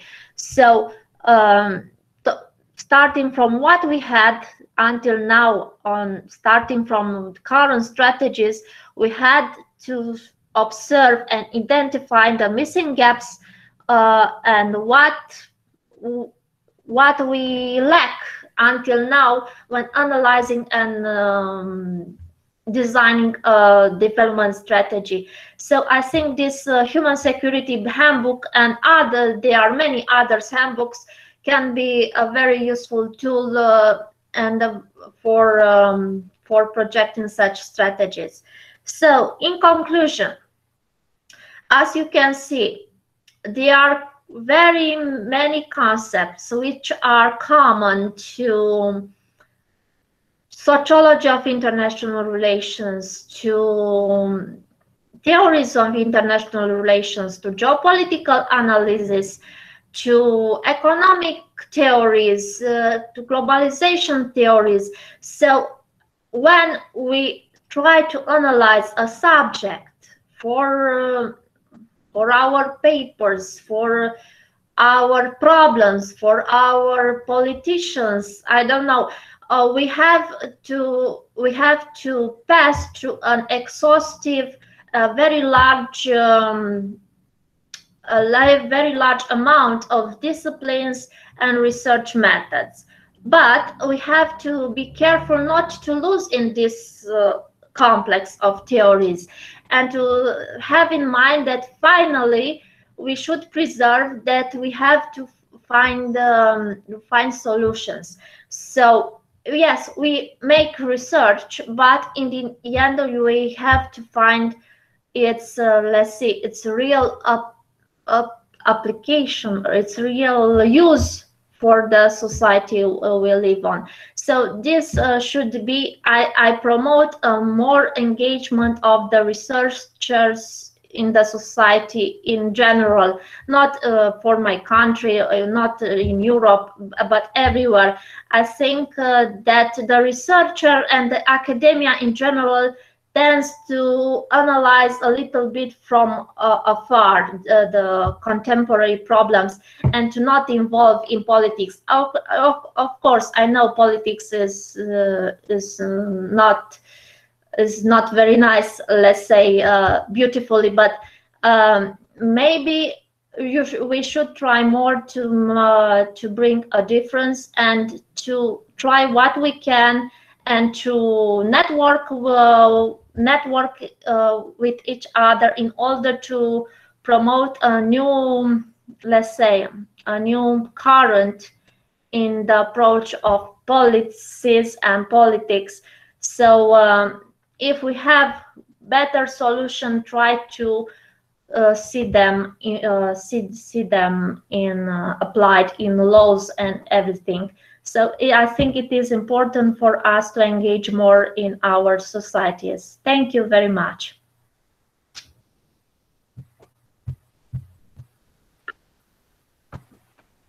Thank you, ma'am, for a thought-provoking presentation. And uh, now I would request the participants to ask their questions. of course. Well, I tried to just uh, give some hints here um, uh, some uh, concepts, some ideas in order the participants to study themselves some direction and uh, authors and so on. This, so we can say that uh, that it was a kind of introduction in in sociology of international relation and other fields let's say um, but um, i always tried to connect disciplines um, i try to apply international relations in public administration for example in my country when uh, i work on um, development strategies for uh, towns or so I try to use what I learn in um, in academia and in universities, what I teach, uh, to use uh, where when I could uh, in public administration when I uh, was consulted, of course. So I, I think it is important to uh, to reach a stage when you connect all, all the knowledge you have and try to apply to the common uh, to the daily problems you you have in front of you. I think it's the ultimate goal of everything we learn. to find solutions and uh, use all these theories and research methods to find sol solutions to concrete problems. Thank you. Uh, good evening, ma'am. Uh, yes. This is uh, this is Rakesh Chaudhary from okay, Kolkata. Ma'am, uh, I just want to know what are the challenges that you have faced while doing the research in this particular field because it is the sociology of the international relations very, yes. Uh, you know, it's not so easy because whenever we are engaged with some social issues, we always face challenges. And that is also of international relations where politics are always involved. Any political kind of ideas are always involved. And, the, and then on that, the social issues which you are trying to study. So you have applied a research method. What are the challenges that you have faced? How and how you overcome those challenges? Um, the the most challenging is uh, when we talk uh, when uh, we analyze the groups and the individuals. Um, it's sometimes it's very it's very difficult to quantify um, some trends when we, you make research. Uh, okay we will make uh, survey, you make uh, a qualitative, uh, qualitative uh, research, diachronic research, but sometimes it is very difficult to work with people and to to um, to extract from the database uh, some uh, let's say some laws some some trends. And uh, but of course we cannot neglect the social aspects when we talk about international re relations because this is human nature. So I think um, even if uh, it is very challenging, well, for example, when we talk about public diplomacy, about uh, all kind of discourses about uh, transnational movements, uh, there are so many events uh, on Instagram, as the previous speaker said, uh, in the online media, is uh, they are very difficult to, to quantify, but it's not impossible. For example, mathematical models are very useful, or from uh, cybernetics is very useful.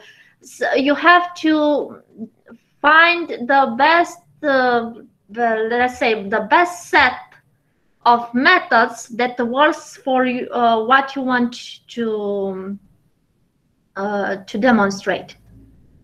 Uh, so, um, well, of course, we, you start with uh, a very good uh, liter literature review, but after that, you you have to put your own models and with your pen in hand to try to think effectively what uh, what I want to demonstrate here and uh, what are my strong points, weak points, and so on, and what um, maybe I lack. And it is also very important when, when you do research to give this research to be read uh, by more researchers, uh, more people around you, because sometimes uh, you are uh, you are so focused on your research that uh, you don't see some things.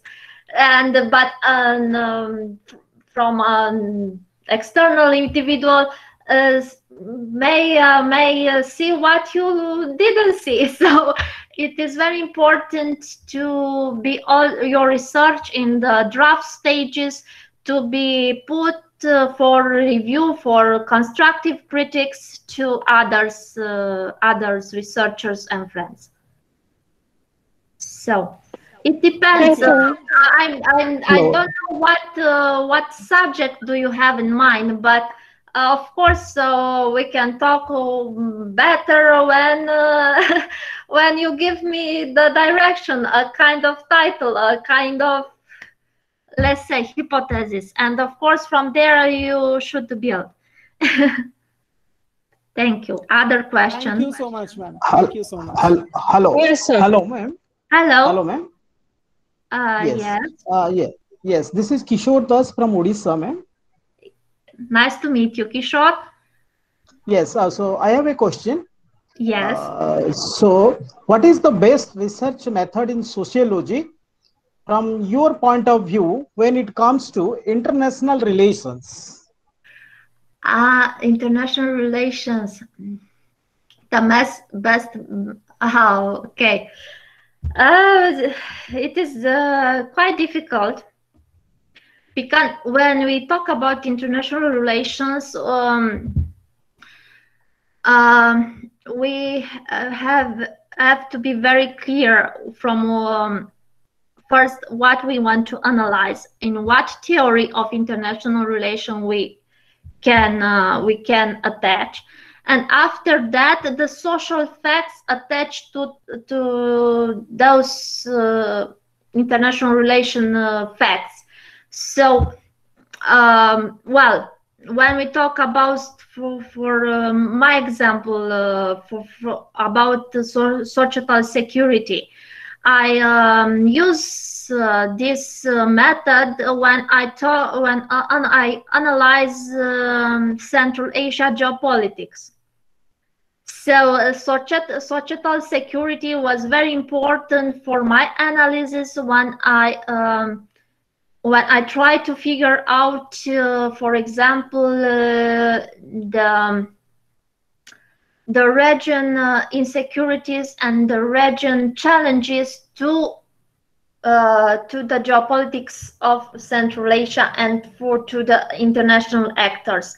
So I try to demonstrate how, for example, um, population, um, terrorist groups, um, human or women rights, and so on influence the policies and foreign policies of Central Asian states, and of course their relation with uh, major powers. So uh, I think uh, we should uh, see the sociology of international relation in connection with theory of international relations and in connection with other uh, fields because you can bring from us uh, solely one direction to to describe completely what you what you want to describe so the most important is um,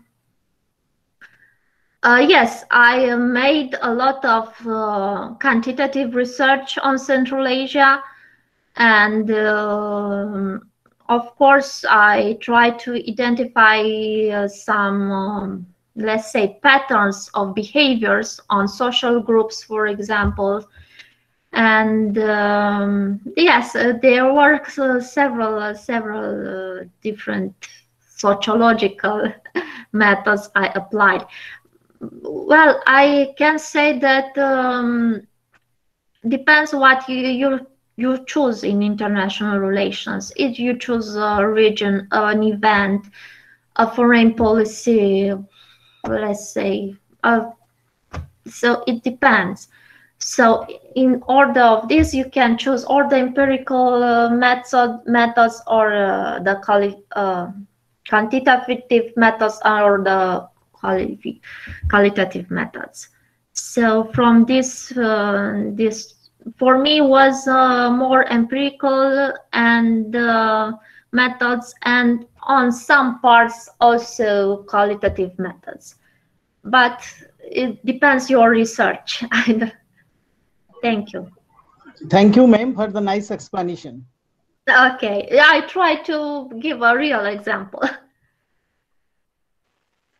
Thank you, ma'am. Do we have any more questions?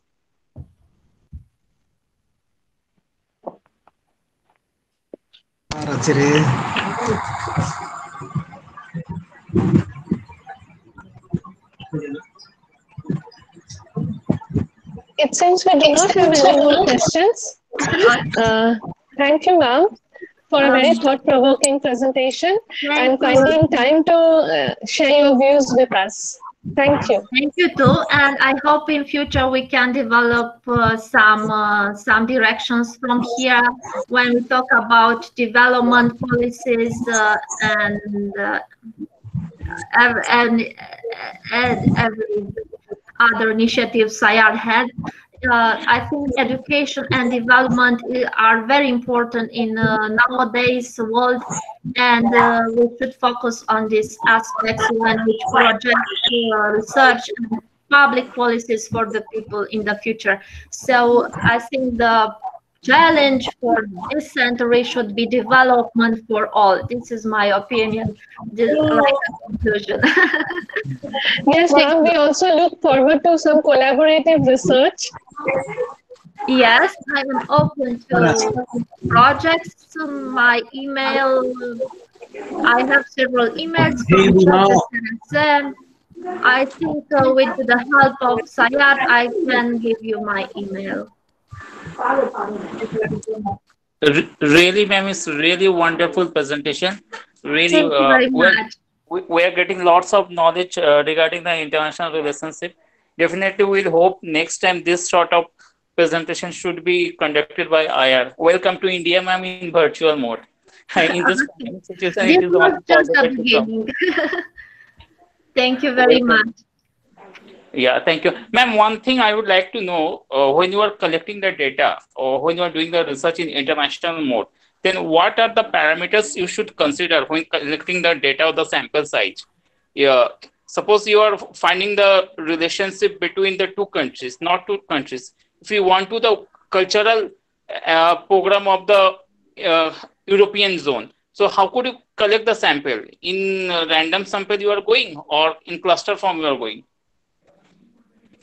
Mm, well, um, usually when um, I tried to analyze a subject uh, in the field of international relations, I try to think about all the actors involved. And uh, when I uh, when I talk about uh, comparative uh, analysis between three countries, I try to analyze everything: political, economic, cultural. When I talk about a certain policy in the European Union, I try to uh, to cover all 27 member states. So I think it depends if uh, if you are doing um, let's say a mark um, uh, market plan, uh, geopolitical analysis, and uh, it, it, depends. So uh, for some research, it was more useful for me to focus uh, on several common topics uh, available for both countries, for three countries, and for other topics were more, more useful to the same topic in all the actors involved. So it depends what you want to analyze. Okay, ma'am. Thank you, ma'am. But we can discuss if you if you have a topic.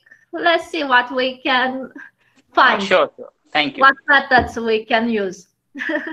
okay. Thank you very much again for your invitation. Thank you, ma'am.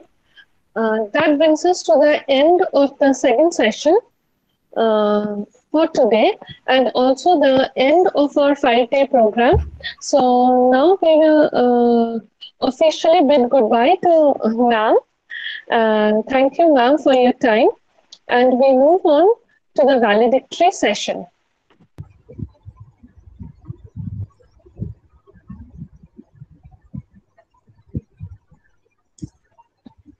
I welcome all the participants to this valedictory session and I congratulate the participants on successful completion of this five-day international FDP on research methodology. Uh, the research methodology program that has been organized jointly by SAIARD and VMM wouldn't have been possible or successful without the participants. So I feel that the participants are the main uh, the main focus and uh, of this for the and they are to be congratulated for the success of this FDP. Now moving on to the valedictory session, uh, I welcome Dr. Shantanu Basu, the IQAC coordinator of VMM, to deliver the valedictory address. Welcome, sir, and over to you. Uh, thank you, Munmun. I hope I uh, you can hear me down there. Yes, okay, you're audible. Fine. Okay, fine. Thanks. Uh, so after the brainstorming sessions uh, for the last five days, five days and 10 sessions, we are now at the fag end of the seminar. We are kind of winding it up to a close. Uh, surely it has been very enlightening. Whatever uh, parts of the seminar I have heard, I have listened to, I found it very enlightening. At the same time, I understand that uh, a five-day seminar does leave a little exhausted also. So I'm not going to tire your patience. I'm not going to wear your patience thin. I'm going to make this uh, valedictory speech of mine short one and hopefully sweet also. Firstly, uh, in fact, uh, what I will try to do is that uh, I will try to point out some of the key takeaways for me from this uh, five-day seminar. and I will try to itemize some of the important uh, issues that I think has come out from this five-day seminar for me, the first thing is that a seminar like this on research is a very topical one. Now, topical because a VMM, Vivekananda Mission Mahavidyalaya, is a undergraduate college, and there are a lot of young faculty there out there.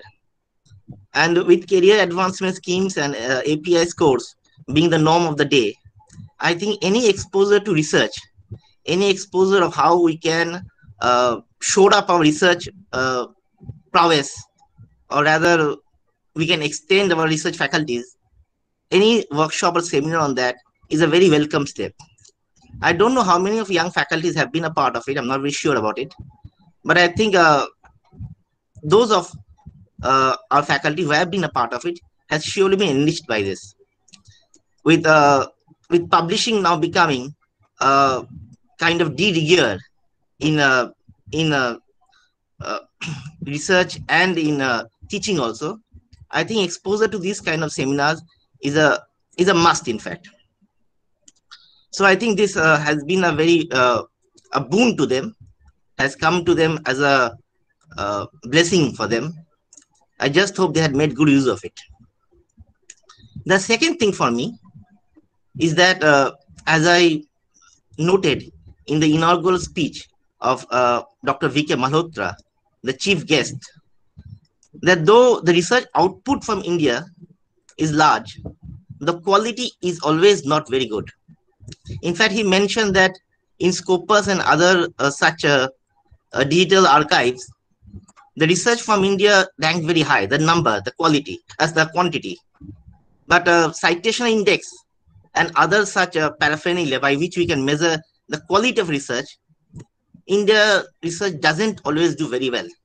In fact, he pointed out, and I'm not mistaken, that uh, out of uh, the patents, 70% of them come from outside India. Outside India means Indians who live outside.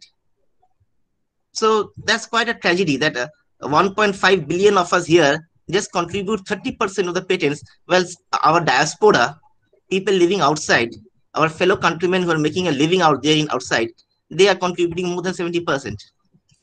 So I think uh, that's ma that makes it very clear that uh, though the though the quantity of research from India uh, is very uh, good in, in numbers, but the quality is always not up to the mark.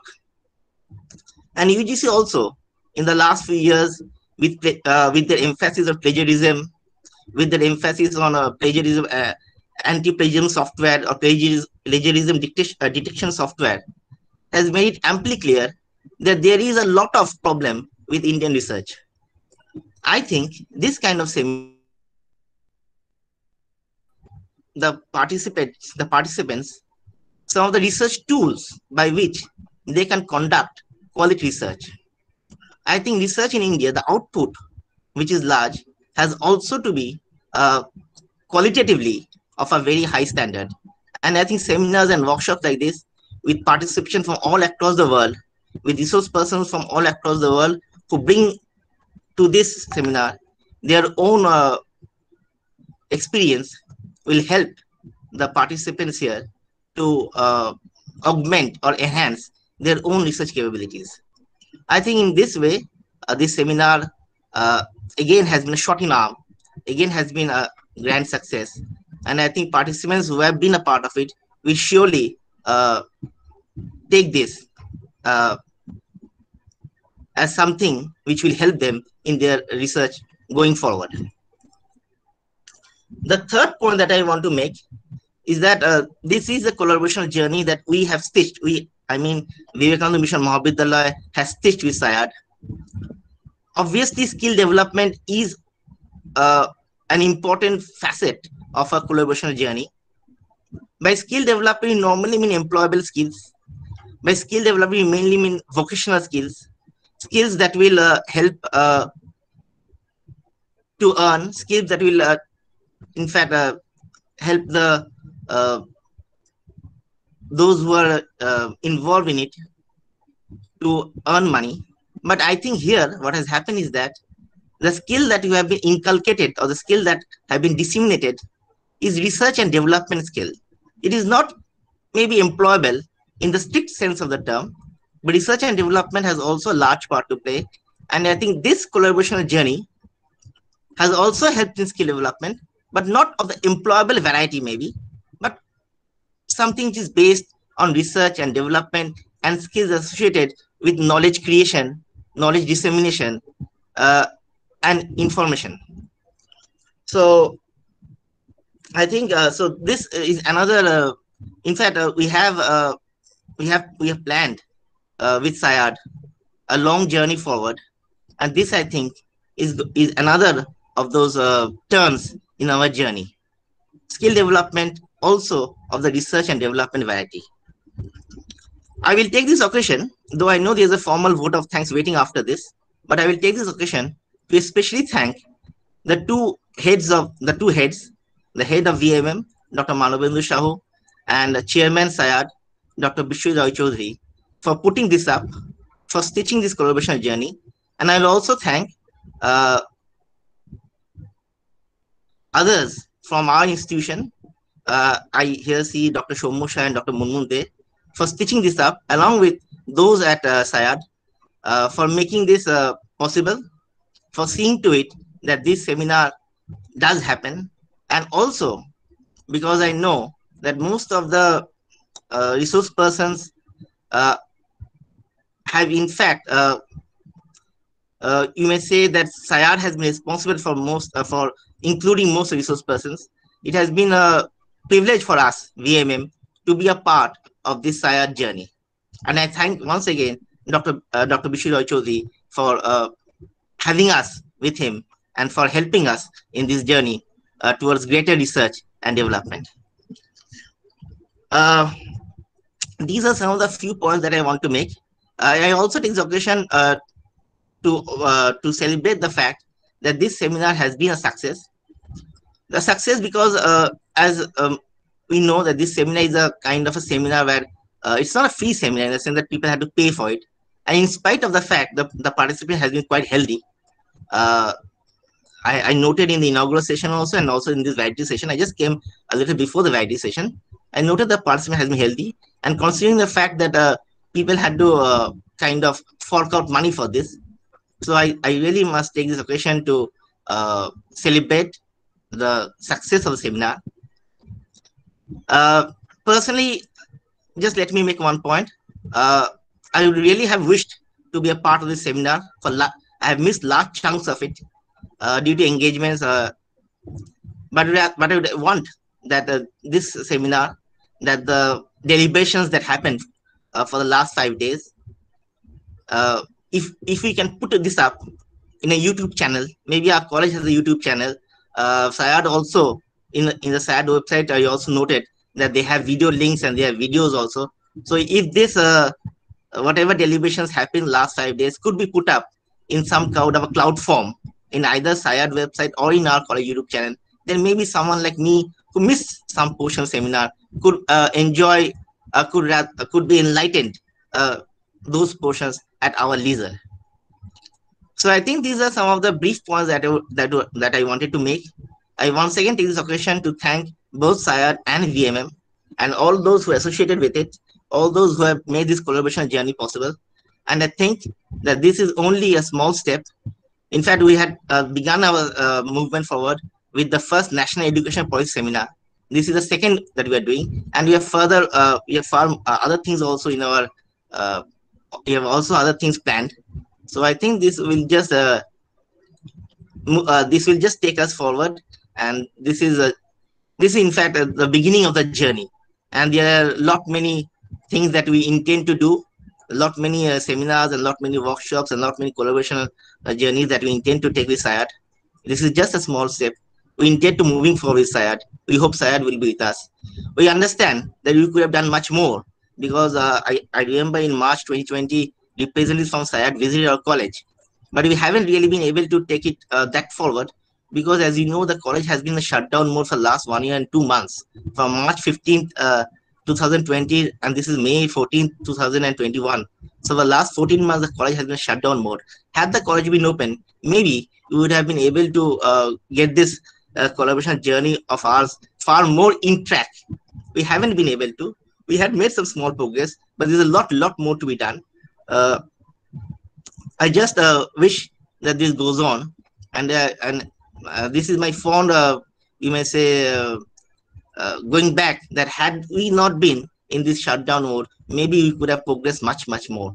But things are as they are, and uh, we need to embrace this opportunity.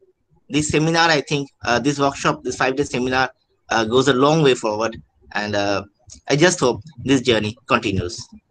so that's some of the points that I wanted to make. I once again, uh, it's, it's a privilege for me to be a part of this variety session. It gives me great pleasure to address you. And uh, some of the discussions that I heard in whatever uh, small chunks that I did manage to catch up, for example, inaugural speech of Dr. V.K. Malhotra and, and, the, and before the variety session, I was listening to uh, uh, Irina Ionela Pop uh, all the way from outside India. Uh, it was very stimulating. And thank you again for having me here. With this, I end this short speech of mine. Thank you. Thank you all once again. Thank you, sir. Uh, now I request the participants if any two of you would give your feedback regarding this FDP. And preferably, preferably we would have a male uh, participant and a female participant. I request any two of you to come forth and share your experience with us.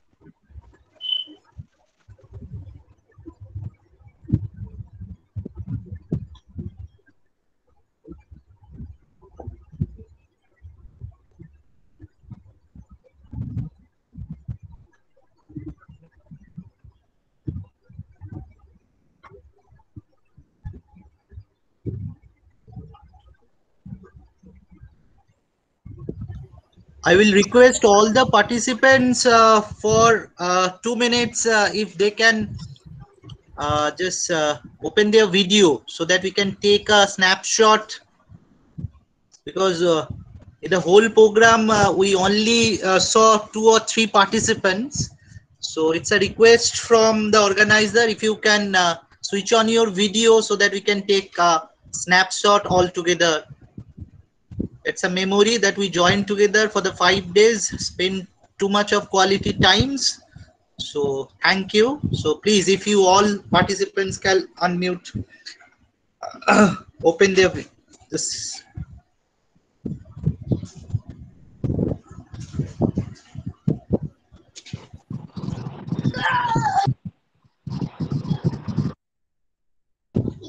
just requesting all the participants uh, those who are not please switch on their video so that we can take a few snapshots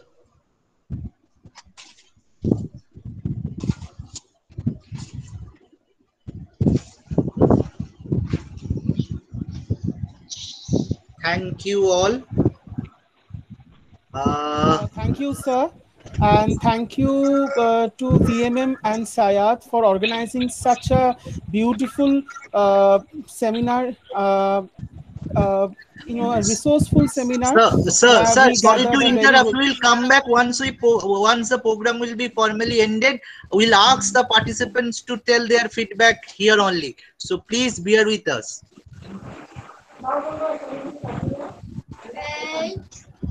H-O-M-E-S, homes. Professor Rai Chaudhary, are you there? H-O-M-E-S, homes. H-O-M-E-S, homes. H-O-M-E-S, homes. H-O-M-E-S, homes. Yes. H-O-M-E-S, homes. So, madam is there to. H-O-M-E-S, homes. No, no, no, no. So No, can you? I give the vote of thanks. Then Munmun ma'am will give it. Okay.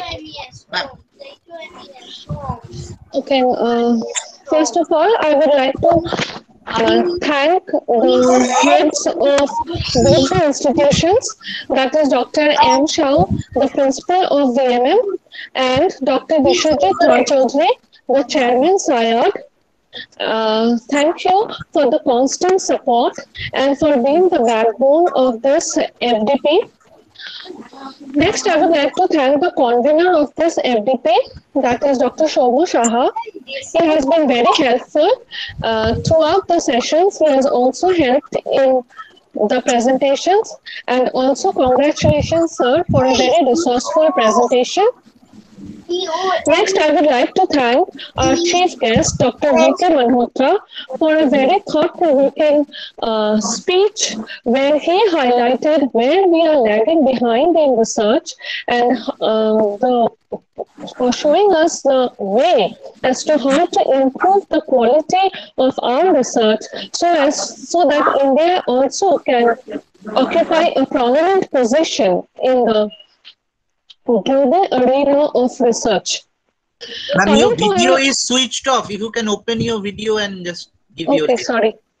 Uh, next, I would like to thank all our, all our eminent resource persons. Their uh, presentations have been very resourceful and enriching.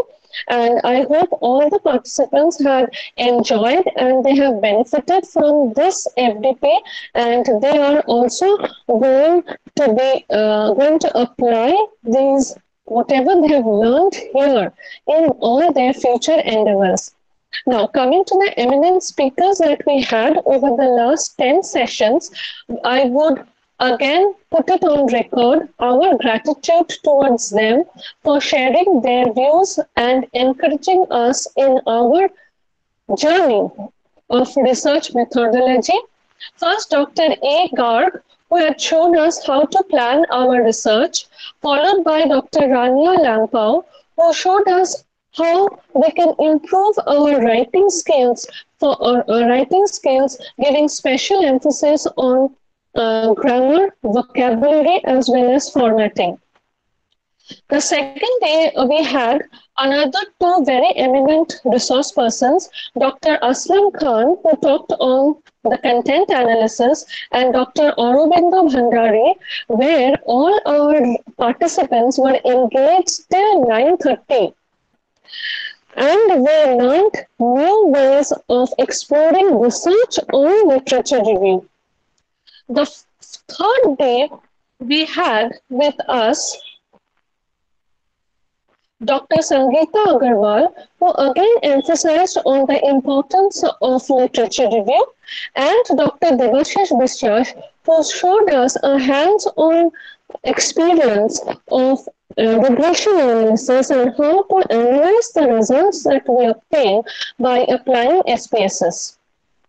The fourth day, we had Dr. Shomu Shaha, who showed us the methods to be employed in research uh, in statistical analysis and which methods are to be used when. Followed by Dr. J.K. Dash, who showed us the right way by citing some examples of known applications of statistical analysis and uh, statistical methods. And last day today, we had uh, for the first lecture by Dr. Abhay Kumar, who showed us with examples the different types of research in different fields. And lastly, Dr. Irina Pop, who uh, showed us the uh, who showed us how, uh, or shared with us how research in the field of international relations. So thank you all the eminent partic- uh, uh, eminent resource persons who have found time and accepted our humble invitation and being a part of this FDP. And last but not the least, I would formally like to thank all our participants who have been actively engaged in all the 10 sessions. And I hope that you all have had an enriching experience. And I formally welcome all the participants to our college VMM once we see happy days so that uh, now we have met have introduced ourselves virtually. I hope that in future with uh, better days to come we and happier days we can all meet in person at our college vmm and i formally invite you there now, coming to uh, uh, feedback form, as all uh, of you uh, have been uh, inquiring about the feedback form, the uh, feedback link has been shared on your chat box, and I hope that the feedback link will also be sent individually to your mails. So once you fill out that feedback link, the certificates, that is the e-certificates, will be mailed to each one of you in the coming uh, in the coming days. So thank you all, and if you want to share anything, uh, please go forth and do so.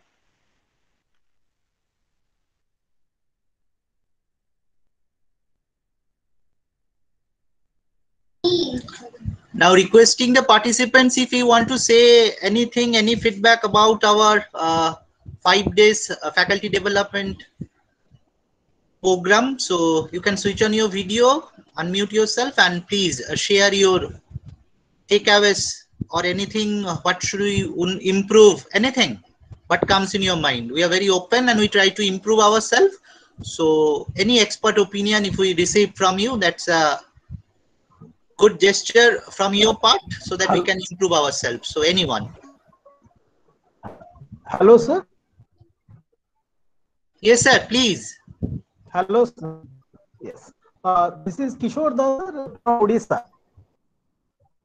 Uh, so, uh, actually, I am very much thankful to SAIARD for organizing such a wonderful five day long FDP, which was well organized and brainstorming also. In fact, I enjoyed a lot, learned a lot. It was quite useful uh, when it comes to getting the papers.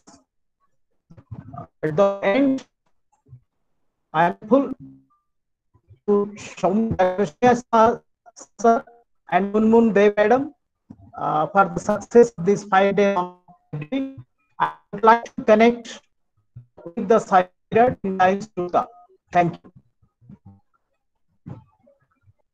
Thank you, sir. Anyone else? Uh, yes, good evening. Uh, good evening, ma'am, and good evening, sir. Uh, I just had one suggestion to you, if uh, if uh, if you do- don't mind, please. Uh, that is, uh, there is there were some few eminent speakers who said in their presentation that this one-hour session is not enough. So I would request in the future when you are organizing such seminars, then please arrange uh, at least give the speakers the topics. For example, uh, to me, the, the Professor Biswas, Devashish Biswas sir, when he was giving the uh, presentation, I felt that that one hour one hour was not really it was not the time. I think he should, uh, you know, he, he was he should given he should uh, mean you should have given two to three hours. So if possible, if anything is possible in the future, that that eminent speakers get only one session in the in one day in this five day long or six day long then i think it will be helpful for the audience as a participant i felt so so i frankly speak out uh, i'm very sorry if you have if you mind but uh, this came to me আমার মনে হলো এটা একটু বলা দরকার তাই জন্য আমি No, we are always open to such uh, criticism. Actually, we can do better with criticism. So we are always open to such healthy criticism. Yeah, we take this uh, definitely uh, in the next seminar or next FDP. If we organize, definitely we'll look into this issue. Uh, But I would like to make one thing clear uh, that when uh, I think Dr. Aurobindo Bhandari had presented beyond one hour, that was till 9.30, we the organizer had, had been with him and we had not tried to stop him. So if any of the uh, resource persons would have uh, gone beyond time, we were like very sportingly we would have accepted it, like we have done for Dr. Aurobindo Bhandari. yes yes that's true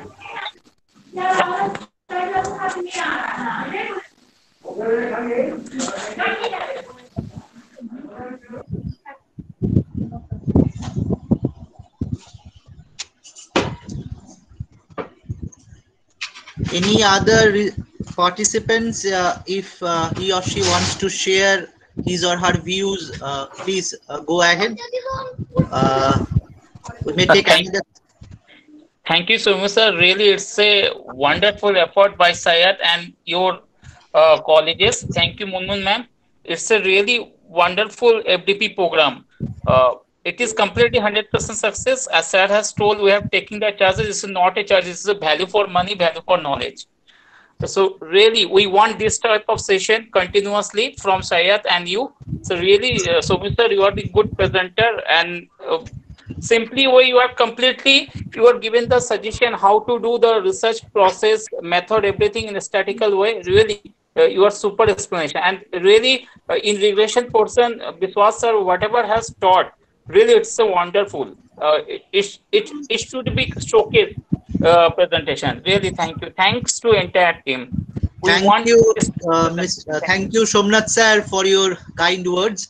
Uh, definitely, we will take your advice and definitely we'll look into this in near future. Thank you, sir. Okay, we have a suggestion from, uh, I don't know, uh, Mrs. Jolly Chatterjee. She says that if you have provisions for hands-on training, it would be much better.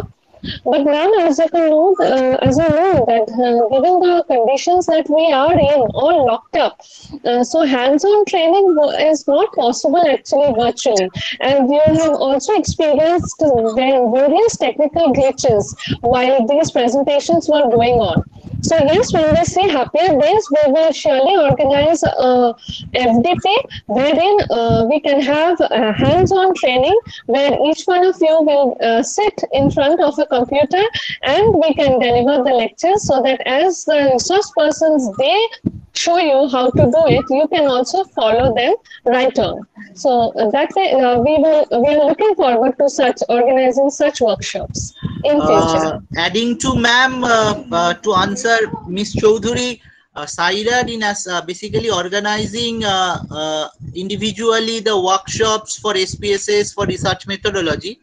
And I took part as a resource person in uh, two or three of the uh, sessions basically, uh, where we are providing the hand-on experience in online mode also.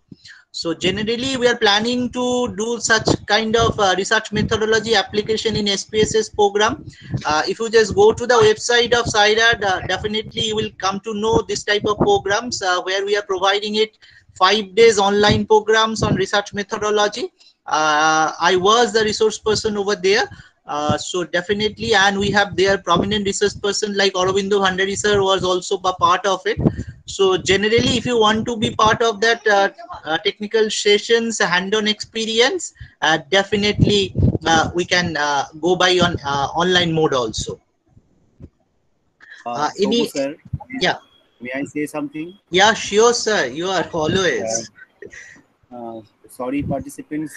Your voice is very low. If you can, uh, Yes, am I audible? yeah, you are, you are, you are. Okay, uh, sorry. Uh, due to some obituary functions, I would not be able to possible to join. Anyway, but still I have followed the lectures, your feedbacks, everything. And thanks, uh, Shantanu sir, for your uh, valuable speech and also the participant for your feedbacks. I have already sent uh, the link of YouTube channel of our SAIARD as that you can get all kinds of lecture recordings, everything from there. Even if you want to hear another some valuable lectures on different subject, different issues, you can also get it from there. Number two, tomorrow we have an another international webinar on behalf of our Center for Urban and Built Environment on COVID-19 and city management. If any participants here are interested to be uh, join in that webinar, they can easily join. I have already sent it in your chat box. And regarding hands-on training program, what Shomo sir is just uh, told you, that on behalf of SAIARD, we are continuously doing lots of training activity programs, different capacity building programs. We have already advertised uh, GIS, geoinformatics course training. We have already uh, advertised for the R programming language. Even we are already conducted the SPSS training programs. And very soon we are also going to start another advertisement. We are also going to provide another advertisement on the SPSS hands-on training and there R programming software will also be included. So it will be a six months uh, PG diploma course. If you want to join, you can easily join through our website provided link. And that's why I would like to say that continuously please visit our website or our Facebook or our Facebook page as that you can get update yourself of our, our next academic curriculum activities, everything. So even in the coming July, we are also going to advertise for our PhD program also. So if you want to join, you can easily join. Just you have to keep in touch with our social media page and website. Thank you. Hello. Yes, Abhinav sir. Hi. Uh, I will not say much, but would say that this is really wonderful program because we able to, uh, you know, do it from home. And uh, if I uh, speak about me, uh, if I not join this, I would have just wasted my time. So by joining the program, I learned a lot, a variety of topics, and the interaction with variety of experts. So this is really a wonderful program, and I really thank uh, ji for his approach, uh, the way you are, you know, conducting the programs and uh, collaborating with variety of institutions and the speakers. So all the good wishes, sir, and please continue uh, to doing such type of programs, and if possible, uh, try to do the part two of this program if it is possible. Thank you so much okay, and good luck. Okay, we will keep in mind and definitely, uh, hopefully, Shomo sir is here. Shomo sir, are you here? Yes, I am. sir. Yes, I am. Okay, so, so sir, uh, we should note the point that we can organize a part two of this research methodology workshop after Sure. one month like that. Okay. Yeah. Sure, sir. Sure, sir. And many congratulations, Soumya and uh, Madam also, and all the institutions. Sorry, I forgot to mention you. Thank you, Mr. Walia. Thank you. Thank you, ma'am. Thank you, sir. Thank you. So we are team right now. Whenever we are going to associate, then we are team. So if you give thanks to me or Somo sir, then automatically it vice versa. yes, yes. Thank you so much. Thank you. Thank you. So Uh, and the feedback link is already available in your mailbox and the chat box too. Uh, there was a place given for your feedback. You freely write whatever comes in your mind, so that we can uh, definitely uh, look into these issues and uh, develop or uh, develop ourselves for, for the constructive criticism, whatever you are going to make. So you are open uh, the feedback form. You just write your actual feedback. No harm, so that we can improve in the next course uh, onwards. We can Sure. incorporate that. Yeah. Thank you so much. Yeah. Okay, and Abhinav, uh, I would like to see you in our tomorrow's webinar because it's your field also. Yes, yes, yes. I'll be there. I'll be there. I have, Yes, I have taken all the link to my mail, so I'll, I'll be there. Yeah. Thank you. Uh, any other participant who wants to comment? Hello.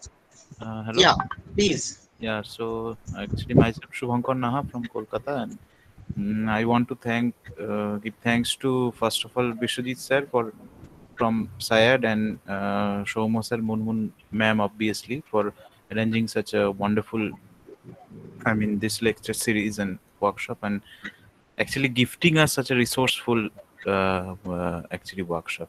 So I definitely want to join in future courses as well and thanking you for that. Thank you so much. Thank you, Mr. Naha, for your kind Thank word. you. and Uh, also, any, I would like to request one more thing that uh, if you please share your opinion, your feedbacks in your social media platforms uh, on behalf of both the institution, as that other participants or other stu- uh, professors or candidates can be available to can be able to know as that they can be also in future they can be also part of that program. Thank you. Okay, okay, sure, sir. Thank you. uh, any anyone left? Or else uh, we will, uh, it's 8.14 here about. So another one minute, uh, we can provide to participants if they wants to talk. Unless uh, we're going to formally end this five day long uh, FDP program.